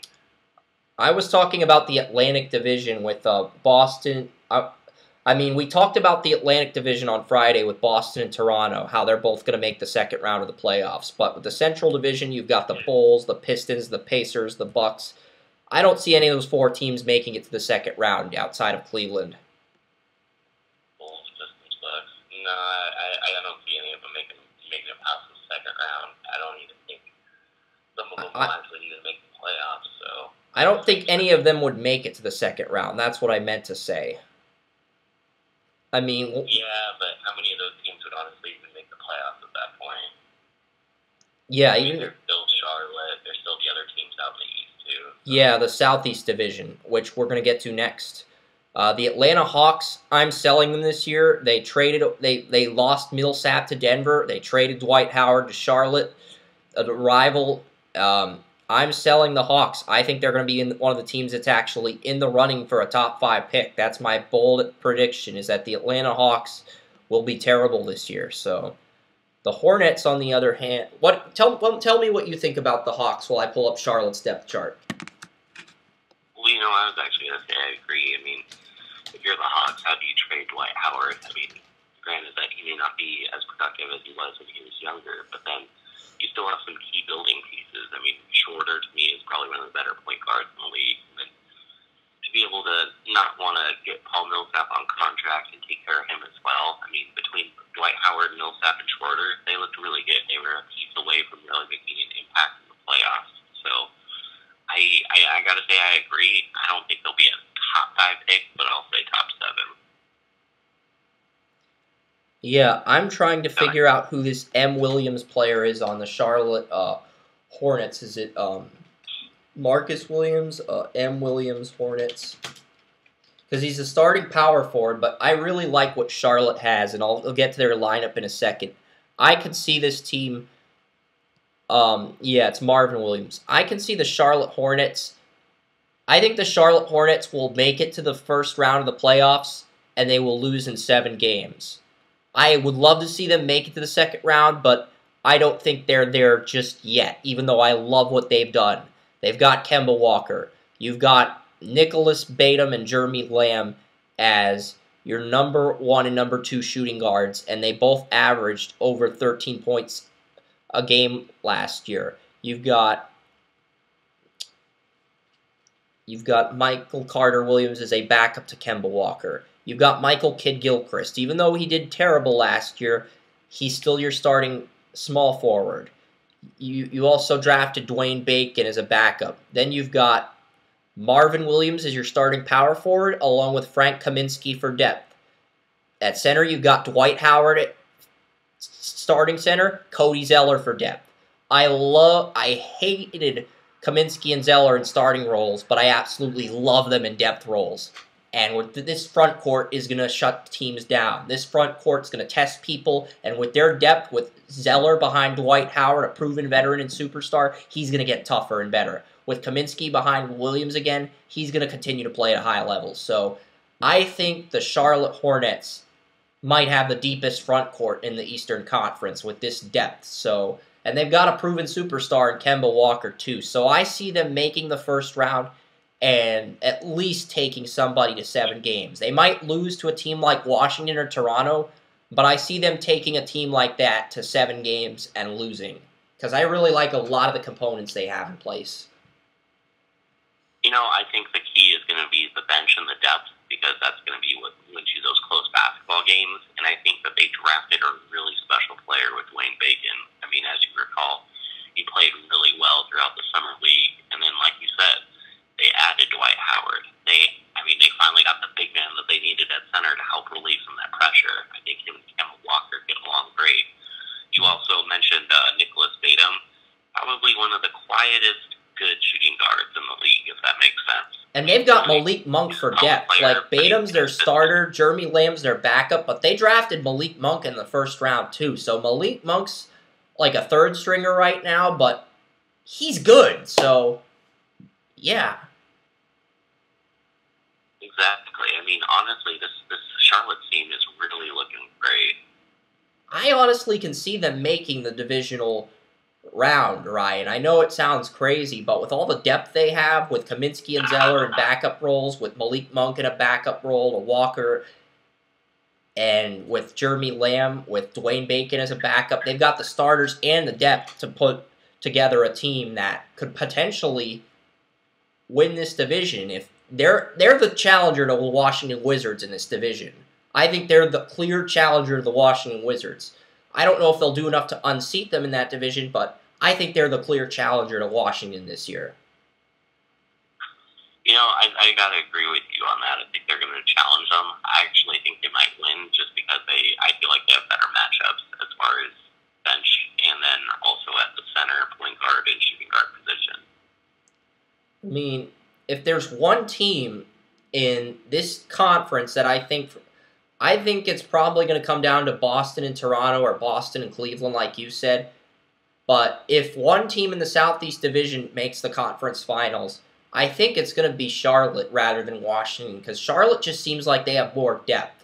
Washington seems like a team that would play well in the regular season, but Charlotte just seems like a team that's just well put together, has the starters and the depth to make a run, but it depends on who they get in the playoffs. But I think they're a playoff team.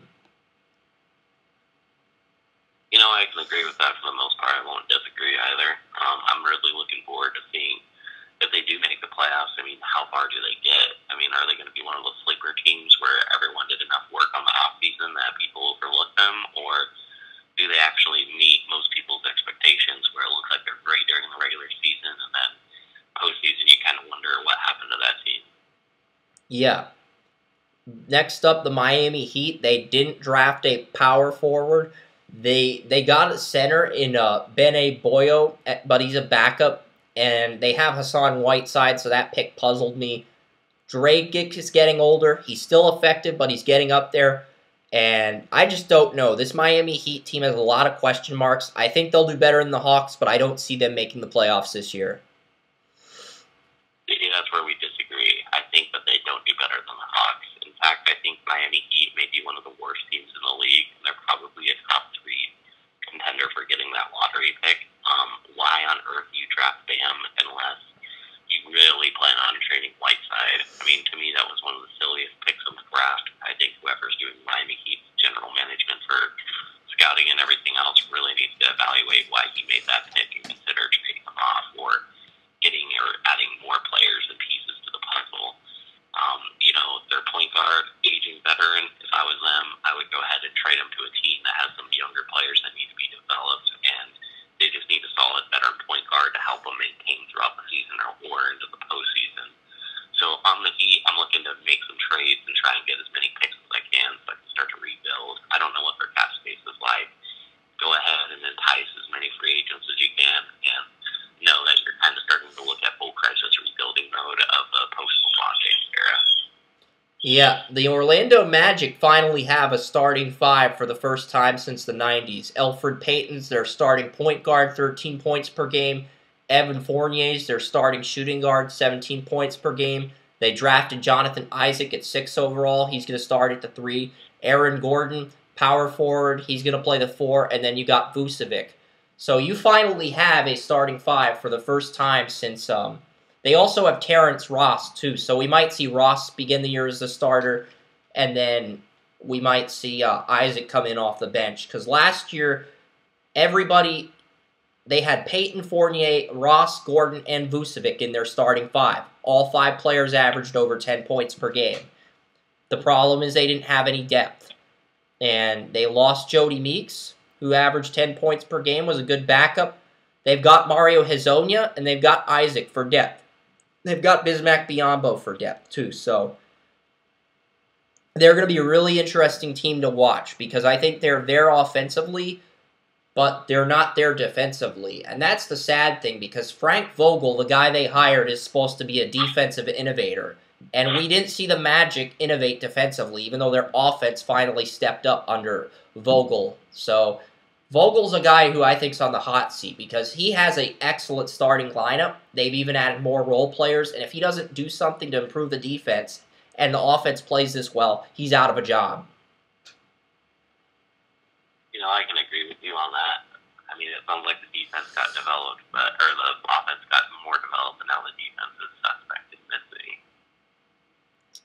Yep, and then finally we have the Washington Wizards. Wall, Bradley Beal, Otto Porter, a lot of talent in the nation's capital, and this is a team that pushed the Boston Celtics to Game Seven.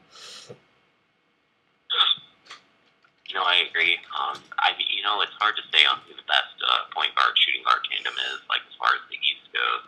Because I do like that whole Kemba Walker, Nicholas Batum, but then you have John Wall and Bradley Beal, and I mean, Bradley Beal may not play as consistent as I would like him to, but man, when he gets going, he gets going. He looks like that premier shooting guard that you want in the NBA. Then John Wall, great passer, great handles, really good mid-range shot in my opinion. I think that he has potential to be able to lead the team. I just think that one of those two needs to step up in more of the leadership role to help carry the team as far as emotional um, stamina goes and not get gassed out towards the end of the season or frustrated. Yeah, and the, we'll look at the Wizards: John Wall, Bradley Beal, Otto Porter, Markieff Morris, Mart, Sin Gortat. Their starting five is excellent. The problem is they don't have depth. It's like if they stay healthy, they will win this division again, and they might even get to the divisional round again. However, they don't have depth. I think Charlotte is more likely to make a playoff run than Washington because they have depth. At the same time, I think Washington wins the Southeast Division. However, if Washington and Charlotte meet in the playoffs, I'm picking Charlotte because I think their depth would give them the advantage in a seven game series over the Wizards. Now, if my memory serves correctly, uh, John Wall has been hurt a few times in the NBA so far in his career. Yep, John Wall's been hurt once or twice, and Bradley Beal has been hurt twice as well, and that's what's kept the Wizards from consistently making the playoffs. Yeah, and let's see, Chris, you, you said it right there, consistency. If both guys are getting hurt, I mean, it's so hard for me to sit there and, like, like I want to pick Washington and say that they'll be champs and beasts because that's what they really are on paper. But like you said, they don't have the depth and then the health. It's hard for me to want to dedicate myself to them. I mean, on one end, we could see this team in the Eastern Conference Finals against Boston. However, if they play Boston again, I don't think it goes to seven games. I think Boston would probably beat them in five games this time around because the additions of Gordon Hayward and Kyrie Irving are something that Washington would have problems with. Oh, absolutely. And then, uh, as as we mentioned earlier, just the depth. I mean, look at Boston's bench compared to Washington's bench; they would get stomped. Exactly. So I think you're looking at a few teams. I think Bo- I'm going to say we get Boston over Charlotte just for the heck just for the heck of it. I'm going to say the Eastern Conference Finals we get the Boston Celtics over the Charlotte Hornets just just for the hell of it. I'm going to say we're going to have the Boston Celtics against the Toronto Raptors in the Eastern Conference Final. I know it's like we're giving LeBron the silent treatment. I know he hates that, but it's a contract year, and the only way I could see LeBron staying in Cleveland is if the NBA officials make sure to do everything in their power to hand the Cavs another championship. Because at that point, Cavs get the number one pick, LeBron wins the NBA Finals again. I think LeBron's convinced to stick around in Cleveland. But that has to happen. Yeah, that's the thing though is I just I just don't see it happening. I mean, look at Isaiah Thomas hip injury. I'm thinking that he may be on that last win that we might see him get hurt, and I just see LeBron James blowing up in the locker room, and then LeBron James is stuck sitting there having to play the point guard position again. As far as just dribbling the This team reminds me of the team where he left Cleveland the first time and they had Shaq, an aging Shaq that was way past his prime at center.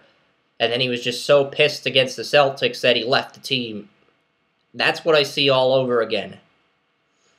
So I guess Chris, my question then, and I think our listeners would want to know as well, more or less than fifty percent chance that LeBron James throws some kind of tantrum and frustration because of injuries to his teammates. Uh, I'm going to say more. I'm going to say we see LeBron James leaving TD Garden. I remember when LeBron lost to the Celtics in 2010, he basically just marched out of the building all angry and pissed.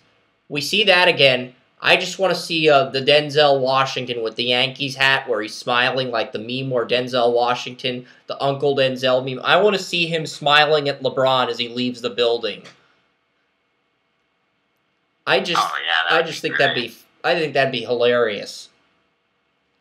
And then we could get the crying Chris Cormier meme going again. All right. Okay, so we both have Boston winning the Eastern Conference. I'm taking Charlotte as a sleeper. You're taking Toronto. That's cool. I like that we're debating over that and we're giving the Cavs the silent treatment.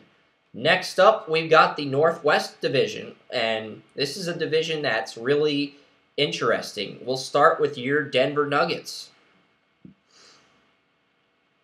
All right, so to my knowledge, uh, we still have Neil on the team. We still have Kenneth Faried.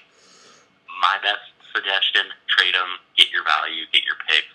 I'm not sold on either of those players. I think they're great role players. Are they going to be players that help the Nuggets get into the playoffs and do a deep run? Probably not. Are they going to contribute throughout the season? Absolutely. I think the Nuggets have a good chance to be able to win this division, but it's going to come down to Emmanuel Mudiay and if his jump shot can be consistent. If he works on that jump shot and continues to make improvement, because I was a little bit wrong when I said that maybe he was a terrible player. I looked more at the stats and I watched a little bit more game film. It seems like he's developing, so I'm willing to try and give him this next year to develop. I think right now with the additions of Murray and the way he had played um, last year, I think that was a great start, and I think we're going to see a lot more of him. Absolutely. And next up, the team you love. It's a team that I think lacks depth if anybody gets injured, but it's a team you love. And it's the Minnesota Timberwolves, and their future is extremely bright. Even if they don't make the playoffs this year, next year they have two first round picks, and one from Oklahoma City as well as one from them. And we'll see what happens. Um, Jeff Teague, Andrew Wiggins is moving. Andrew Wiggins and Jimmy Butler are interchangeable um, because both can play the three or the two. That's what makes them both great at what they do. So and then you brought in Butler and Gort Goy Dieng at power forward only averaged nine points per game last year, but he averaged 10 two years ago. And with the additions to Minnesota, they're projecting to average 10 again. They've got Taj Gibson who for depth. So Dieng and Gibson, Minnesota's base. I thought power forward was a huge issue for Minnesota last year, but with Gorgui Dieng and Taj Gibson for depth, they're projecting both players to have over 10 points per game, mainly due to the presence that Wiggins, Butler, and uh, Towns provides. They believe that those three players create enough synergy for those guys to get at least 10 points per game because people will focus on double teaming Towns or double teaming Butler or double teaming Wiggins, and that'll open up things for the rest of this offense, which is why their numbers are projected to go up. I still think power forward's the issue, but if Dieng and Gibson both average over 10 points per game, and T gets you 15 points per game, Tyus Jones shows he can be a solid sixth man, Jamal Crawford steps up in a depth role. If all of those things happen, Minnesota can make a run. But if the power forward play has trouble, then this team's going to be in trouble as long as Teague, Butler, or Karl Towns does not get injured, I would say there's at least a 50% chance they make the playoffs. Yeah, I, I, I feel like it's going to be a stronger chance. I mean, I'm pretty sold on Jimmy Butler being a superstar, and now that he has, in my opinion, he has more talent around him now. He has Karl Anthony Towns, he has Andrew Wiggins. I mean, really, it's getting set up for him to be able to succeed. I think that they might actually end up winning the division that my dear sweet Denver Nuggets are in. I think that is a possibility. Minnesota is definitely a team where they could either they're going to do better than they did last year. They could they picked seventh in the draft last year. They could either pick anywhere between ten and fourteen, or they can make the playoffs, and it's a we'll see you can do type of thing.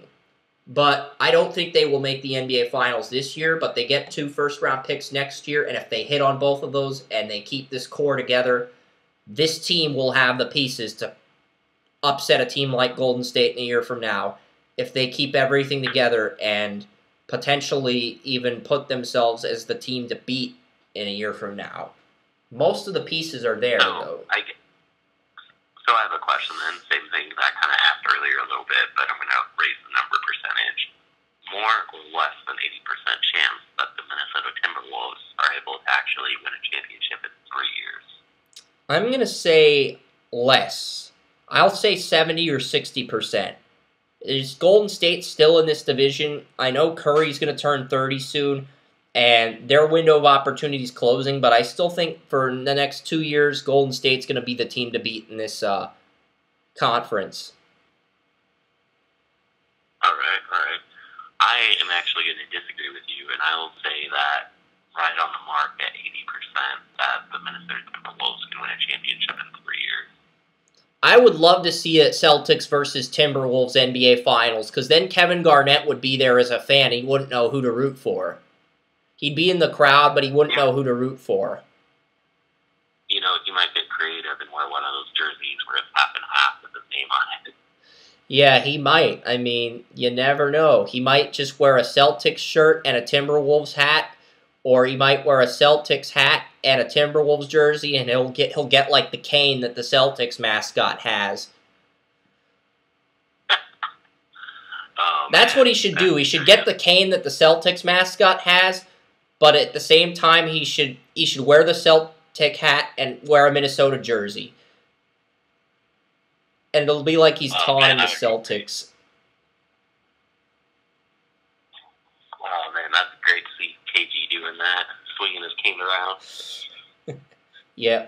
He's, he's he's pointing the basketball up in the air like a member of the Harlem Globetrotters, and he's got the cane, the Celtics cane, and he's just standing there like a casual fan.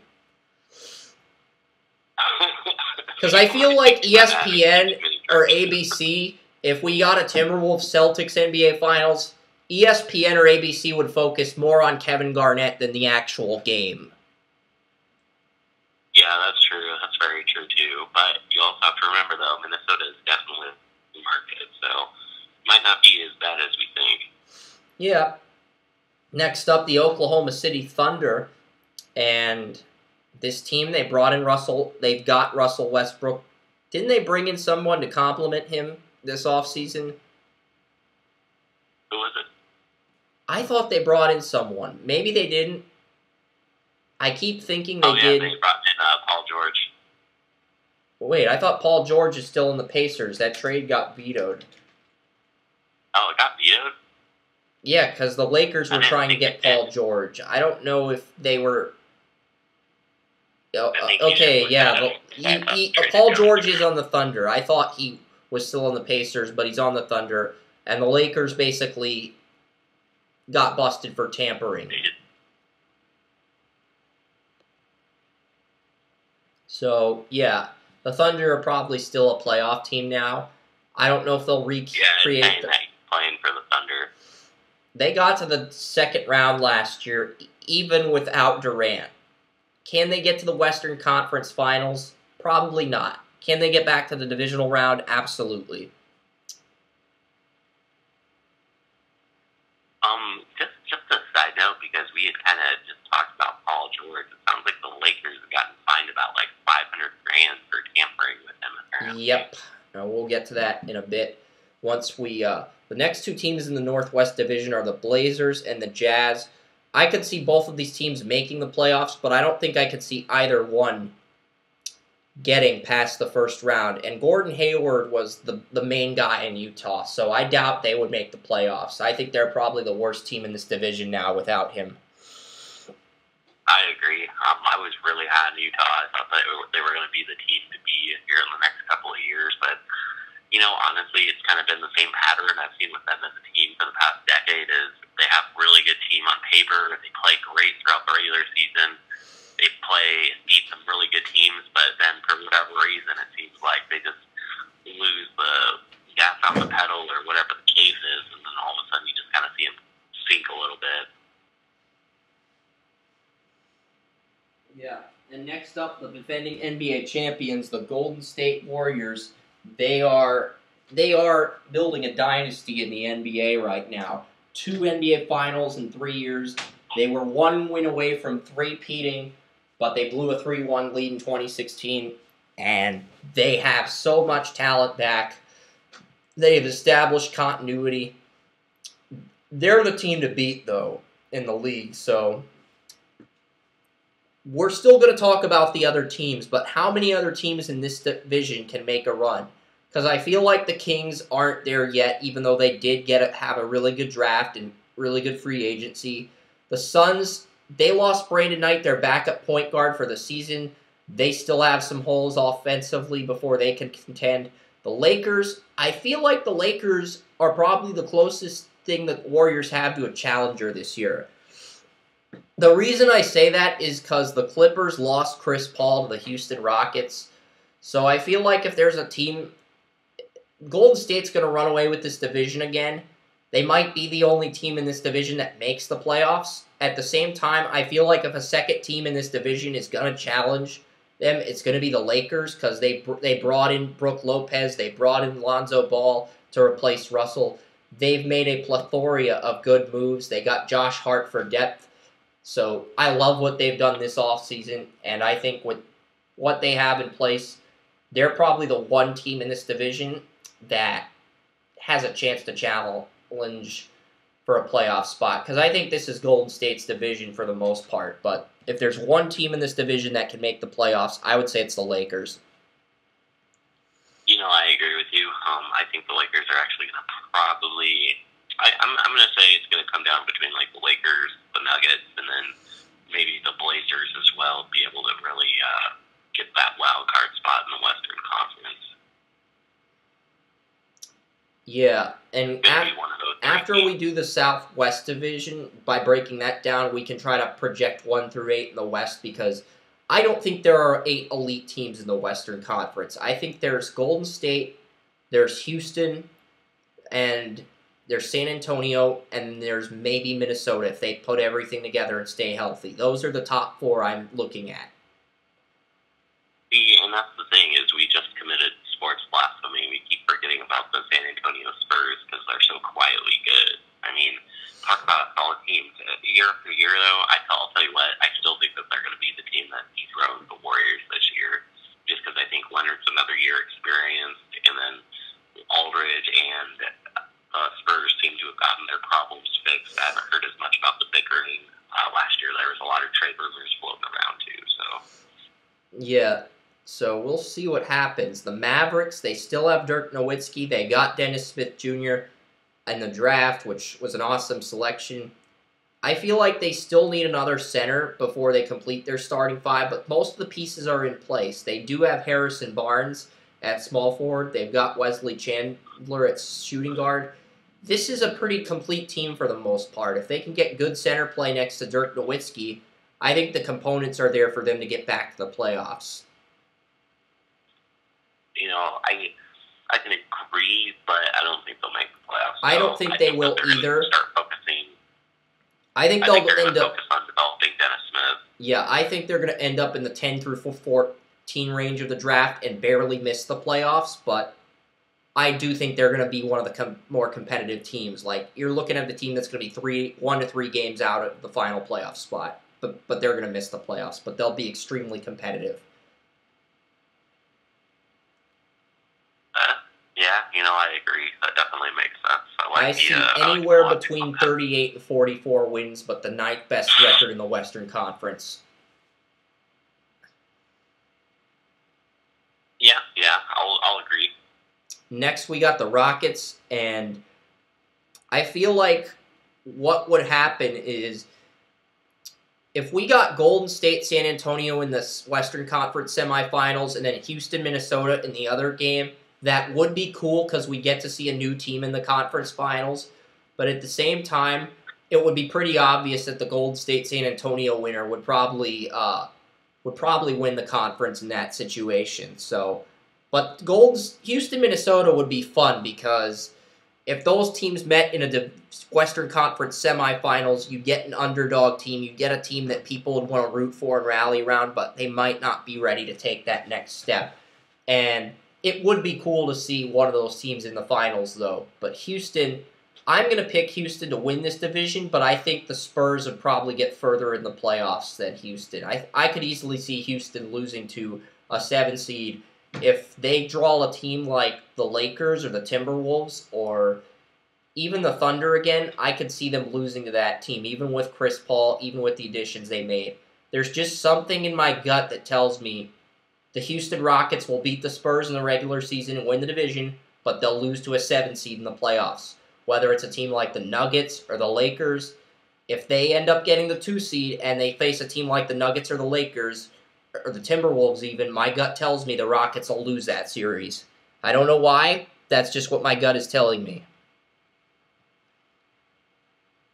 You know, I, you know, for some reason, I feel like Houston's finally going to get past like the second round. I think we're actually going to see a game seven in the Western Conference Finals between the Golden State Warriors and the Houston Rockets. I think it's possible. It's possible. It, it, I think there's a few teams in this conference. Memphis, they got rid of Zach Randolph.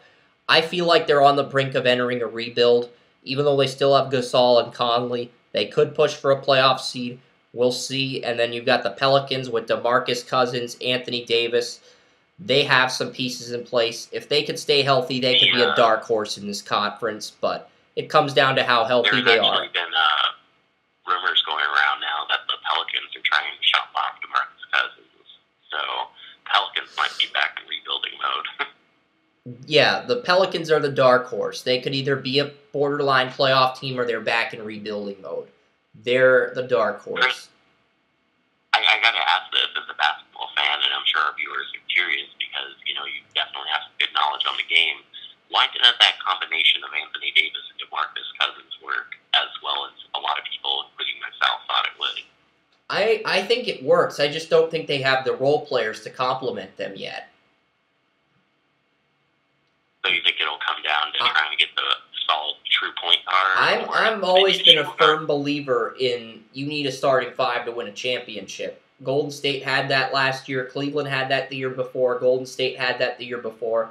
So I don't think New Orleans has a starting five. I think they have a very good front court, but they don't have the starting five to complement him. They don't have the point guard play. They don't have the forward play.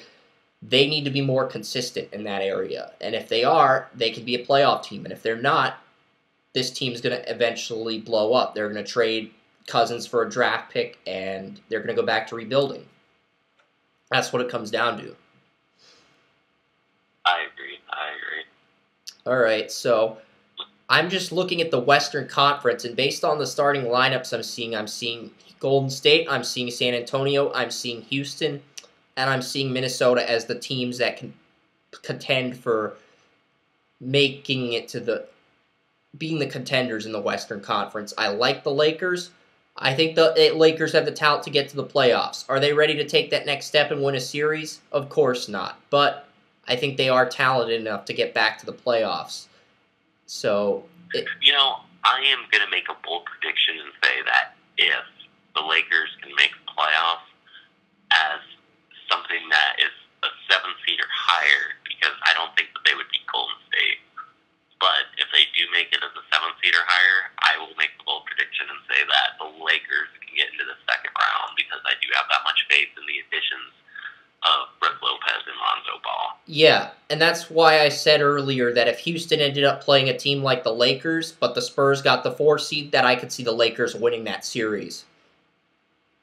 Oh, okay, that's what you're kind of referring to. Exactly. So, because if Houston got the second best record in the conference, and the seven seed they drew was a team like the Denver Nuggets or the Lakers or the Timberwolves, I think they would lose that series. Now, as a Nuggets fan, Chris, and we definitely do have a growing fan base, I'm curious, more or less than 60% of the Nuggets can actually make the playoffs and get into the second round. I think you can make the playoffs. I don't think you'll get past the opening round, though. Disappointed, Chris. I think I gotta go. My mom's calling me. You're joking, but like I, I, I mean, if Denver wins the division, it's possible because I think this division, you're looking at Oklahoma City and Minnesota as the two main teams, but I think Denver's that surprising dark horse. And we're disrespecting Portland by giving them the silent treatment because they do have Damian Lillard. They do have a good core of guys coming back, but they barely got in as the eight seed last year and they got swept by Golden State. So, you know, and I think that the only issue that the Blazers have is outside Damian Lillard and CJ, they don't have someone that's going to be able to really boost them with a lot of points. I know that they had traded for Nurkic, but I mean, he's either consistent or inconsistent. I think he's going to be the X factor in Portland's success. Yeah, and they did move into the top 10 for Zach Collins out of Gonzaga as well. So he can play power forward or center. So we'll see what happens with Portland. But that's our NBA preview, and I think we're both coming to the same conclusion that Golden State will beat Boston in the finals. Yeah, I would say it's probably going to be Golden State and Boston. Um, my next, I would say my next uh, prediction would probably maybe be San Antonio, Boston as well. Yeah, there's a lot of different things that could happen in the NBA. We talked about college football. We talked about some of the games that happened yesterday. Um, I was going to quickly mention some of the things I saw in Major League Soccer before I wrapped up the podcast. Not Major League Soccer, but college soccer, because I saw Gordon Wild on tape. He actually played a lot better in the second half. He made a penalty kick that ignited the team. He had an assist in overtime. So it was a 3 2 overtime game, but there was no scoring in the first half, and the first half was just unwatchable. But the second half was just spectacular. It made up for everything that the first half lacked. And then the Stanford Cardinal have gotten their fifth shutout in a row in college soccer. Two of the games were exhibition games, but they have not surrendered a goal in five games. And Tomas Hilliard Arce out of Stanford, he's led them to back to back championships. He's starting to look like the number one pick in the super draft with his defensive play. It's too early to say. I'm really hoping Albert Ruiz returns from an injury soon. He's missed the first three games, but we'll see what happens with um, college soccer this year. It's too early to speculate on whether or not Stanford's going to three-peat, but they look like such a complete team that I could see them three-peating. Do you think Stanford three-peats, or do you think three-peating in college sports is extremely difficult to do and that somehow they will fall fail to three-peat? Just curious before we wrap up the show, unless you got any additional topics you want to get make any points about. You know, I got a good feeling about them I'm going to go ahead and I'll say three-peat, or hmm. repeat, I should say. Three-peat, because they won the College Cup in men's soccer each of the last two years in a row, and this would be the third year in a row. So I'm going to say no, three-peat as well, because they haven't allowed a goal in you know, five games. I think that this team, this uh, the Stanford team that you're talking about, is very special. I think they're actually going to end up put, helping put soccer more on the map in America, and I think we might actually see it become a little bit more popular here in the next few years as well. Yeah, because Tomas Hilliard Arce had a top five left back next to him, and Brandon Vincent after his first or second year on Stanford, and Brandon Vincent gone, no problem. He wins another title as a junior after winning one as a sophomore with Vincent, and now it looks like he might win another one as a senior. So when you have that kind of leadership yeah, LA is probably going to take that guy number one because Magic Johnson wants to win, and Magic Johnson's one of the partners involved with LAFC. So he go. It's a local kid. He's won in college. He's won in college consistently. That's sort of what I see Magic Johnson doing with the number one pick, and I still think Gordon Wild and Albert Ruiz go top five, even though they haven't gotten on to, off to hot starts like we would have liked them to. I still think they're too talented to fall out of the top five, but at the same time, I think Hilliard Arce is probably the front runner to go number one overall now. Yeah, I'll, I'll agree with that. Because he's team captain. He got voted team captain this year, and his leadership is speaking for itself. Five shutouts in a row in, as team captain, that's impressive. That, you know, that is pretty impressive.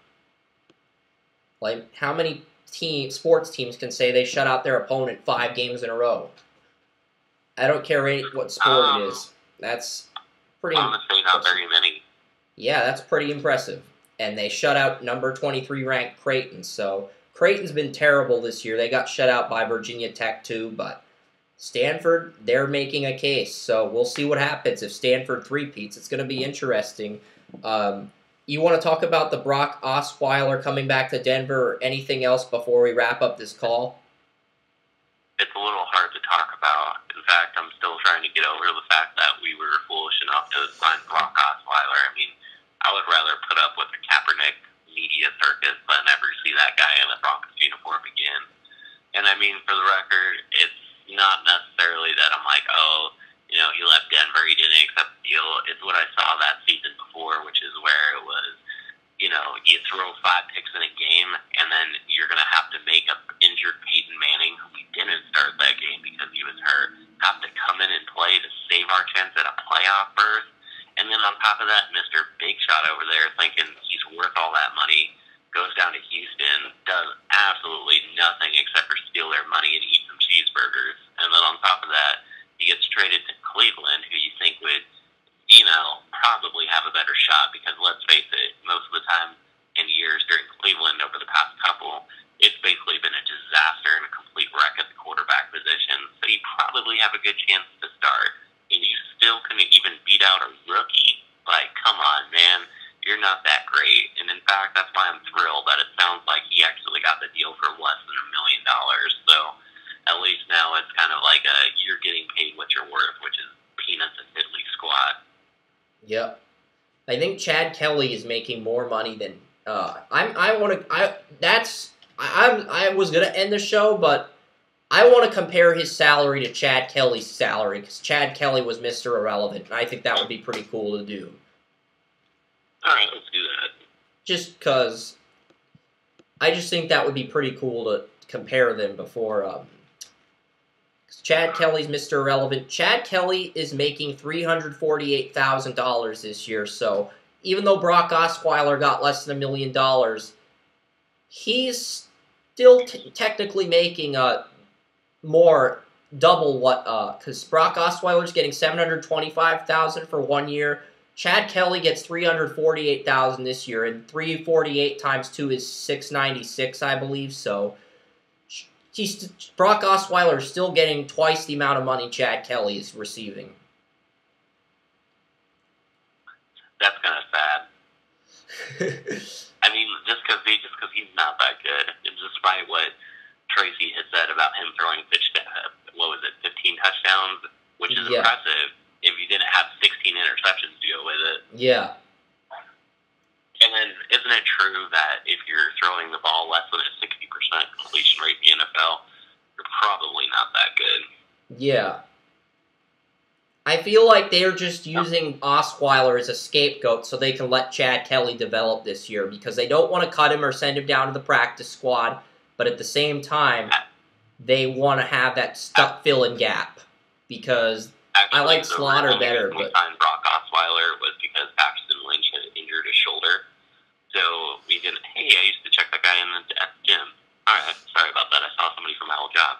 Um, yeah, no, I mean, honestly, though, I mean, I just, I the only reason we brought him in was just because Paxton got hurt. A lot of people, like the local kid, I forget his name, he was at CSU. I think it was like Sloter or something like that. Sloter. There was a guy and from northern Colorado named Kyle Sloter. Mark Suba told me he was the best quarterback in last year's draft because he hated the quarterbacks in last year's draft, and Sloter impressed. So.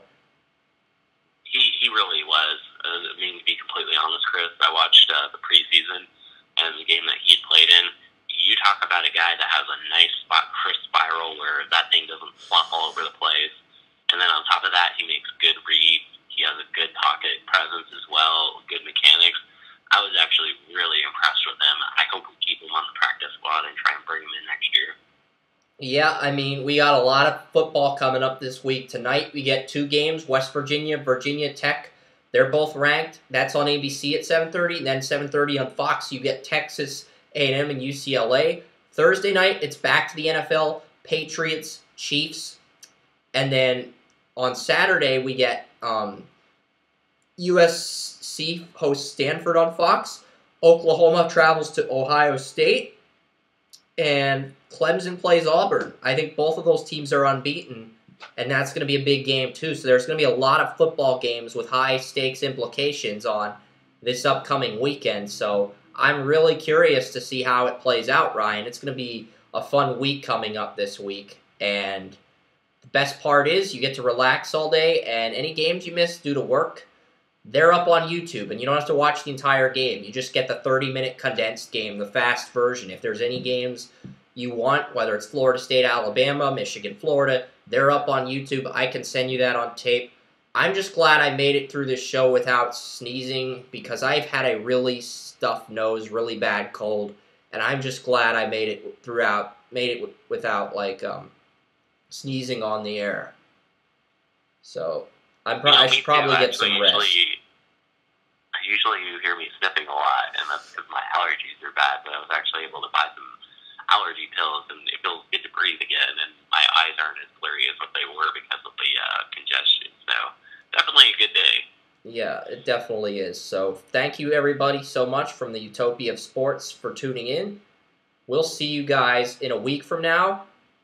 Episode 337, the week before the, NFL season, will be up on TalkShoe in a little bit. It'll also be up on YouTube. Um, not sure what we'll title the episode on YouTube, but we'll talk about that off the air. Enjoy your weekends. Um, so long from the Utopia of Sports. We'll be back next week when the NFL starts. So long.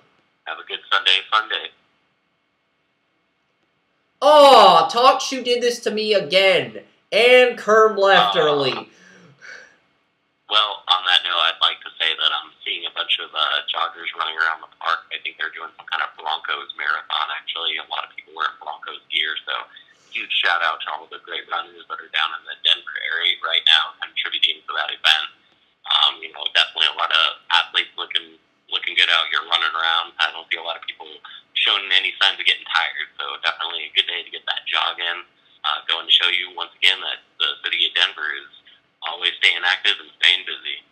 Yep, and the upcoming episodes for Draft Utopia on September 10th, 338, NFL Week 1 preview show, which is next Sunday, and two weeks from now, we have NFL Week 2 Electric Boogaloo. I just thought that was a funny title. Joey hated it for some Boogaloo, reason, Is though. this like the Jungle Book? Are we gonna Remember, uh, remember in uh, Sunny in Philadelphia, they have that one episode titled Charlie McDennis 2 Electric Boogaloo? Yeah, what the hell? I just thought Week 2 Electric Boogaloo had a nice ring to it, so I just went with that as the episode title for two weeks from now. Are, are you sure you're not uh, one of the writers on It's Always Sunny in Philadelphia? I, I just thought that was a Oh, great title for a future episode, and Joey thought I was drunk when I came up with the title, so it all works out. uh, yeah, I, I, I suppose it does. Yeah, uh, episode You like the notes Chris. Ransom, Joseph Potter. Ryan Romero, Andrew Kermish recap Houston, Cincinnati. We also look at one game between 0 and 1 teams in depth and one game between 1 and 0 teams in depth before going over SWOT reports for the running backs in the NFL draft. I think we were going to do the running backs. Uh, yeah, we were going to talk about the quarterbacks. Uh, yeah, I need to update the episode synopsis because I have the quarterbacks for next week's show on the 10th. And then um, I forgot to mention the. Because, yeah, I need to put the running backs for next week and the wide receivers for two weeks from now. Because the wide receivers are going to be fun. That's something that all the receivers impressed this week. So that's actually going to be a, a fun show. We can mention the receivers in the Electric Boogaloo show, too.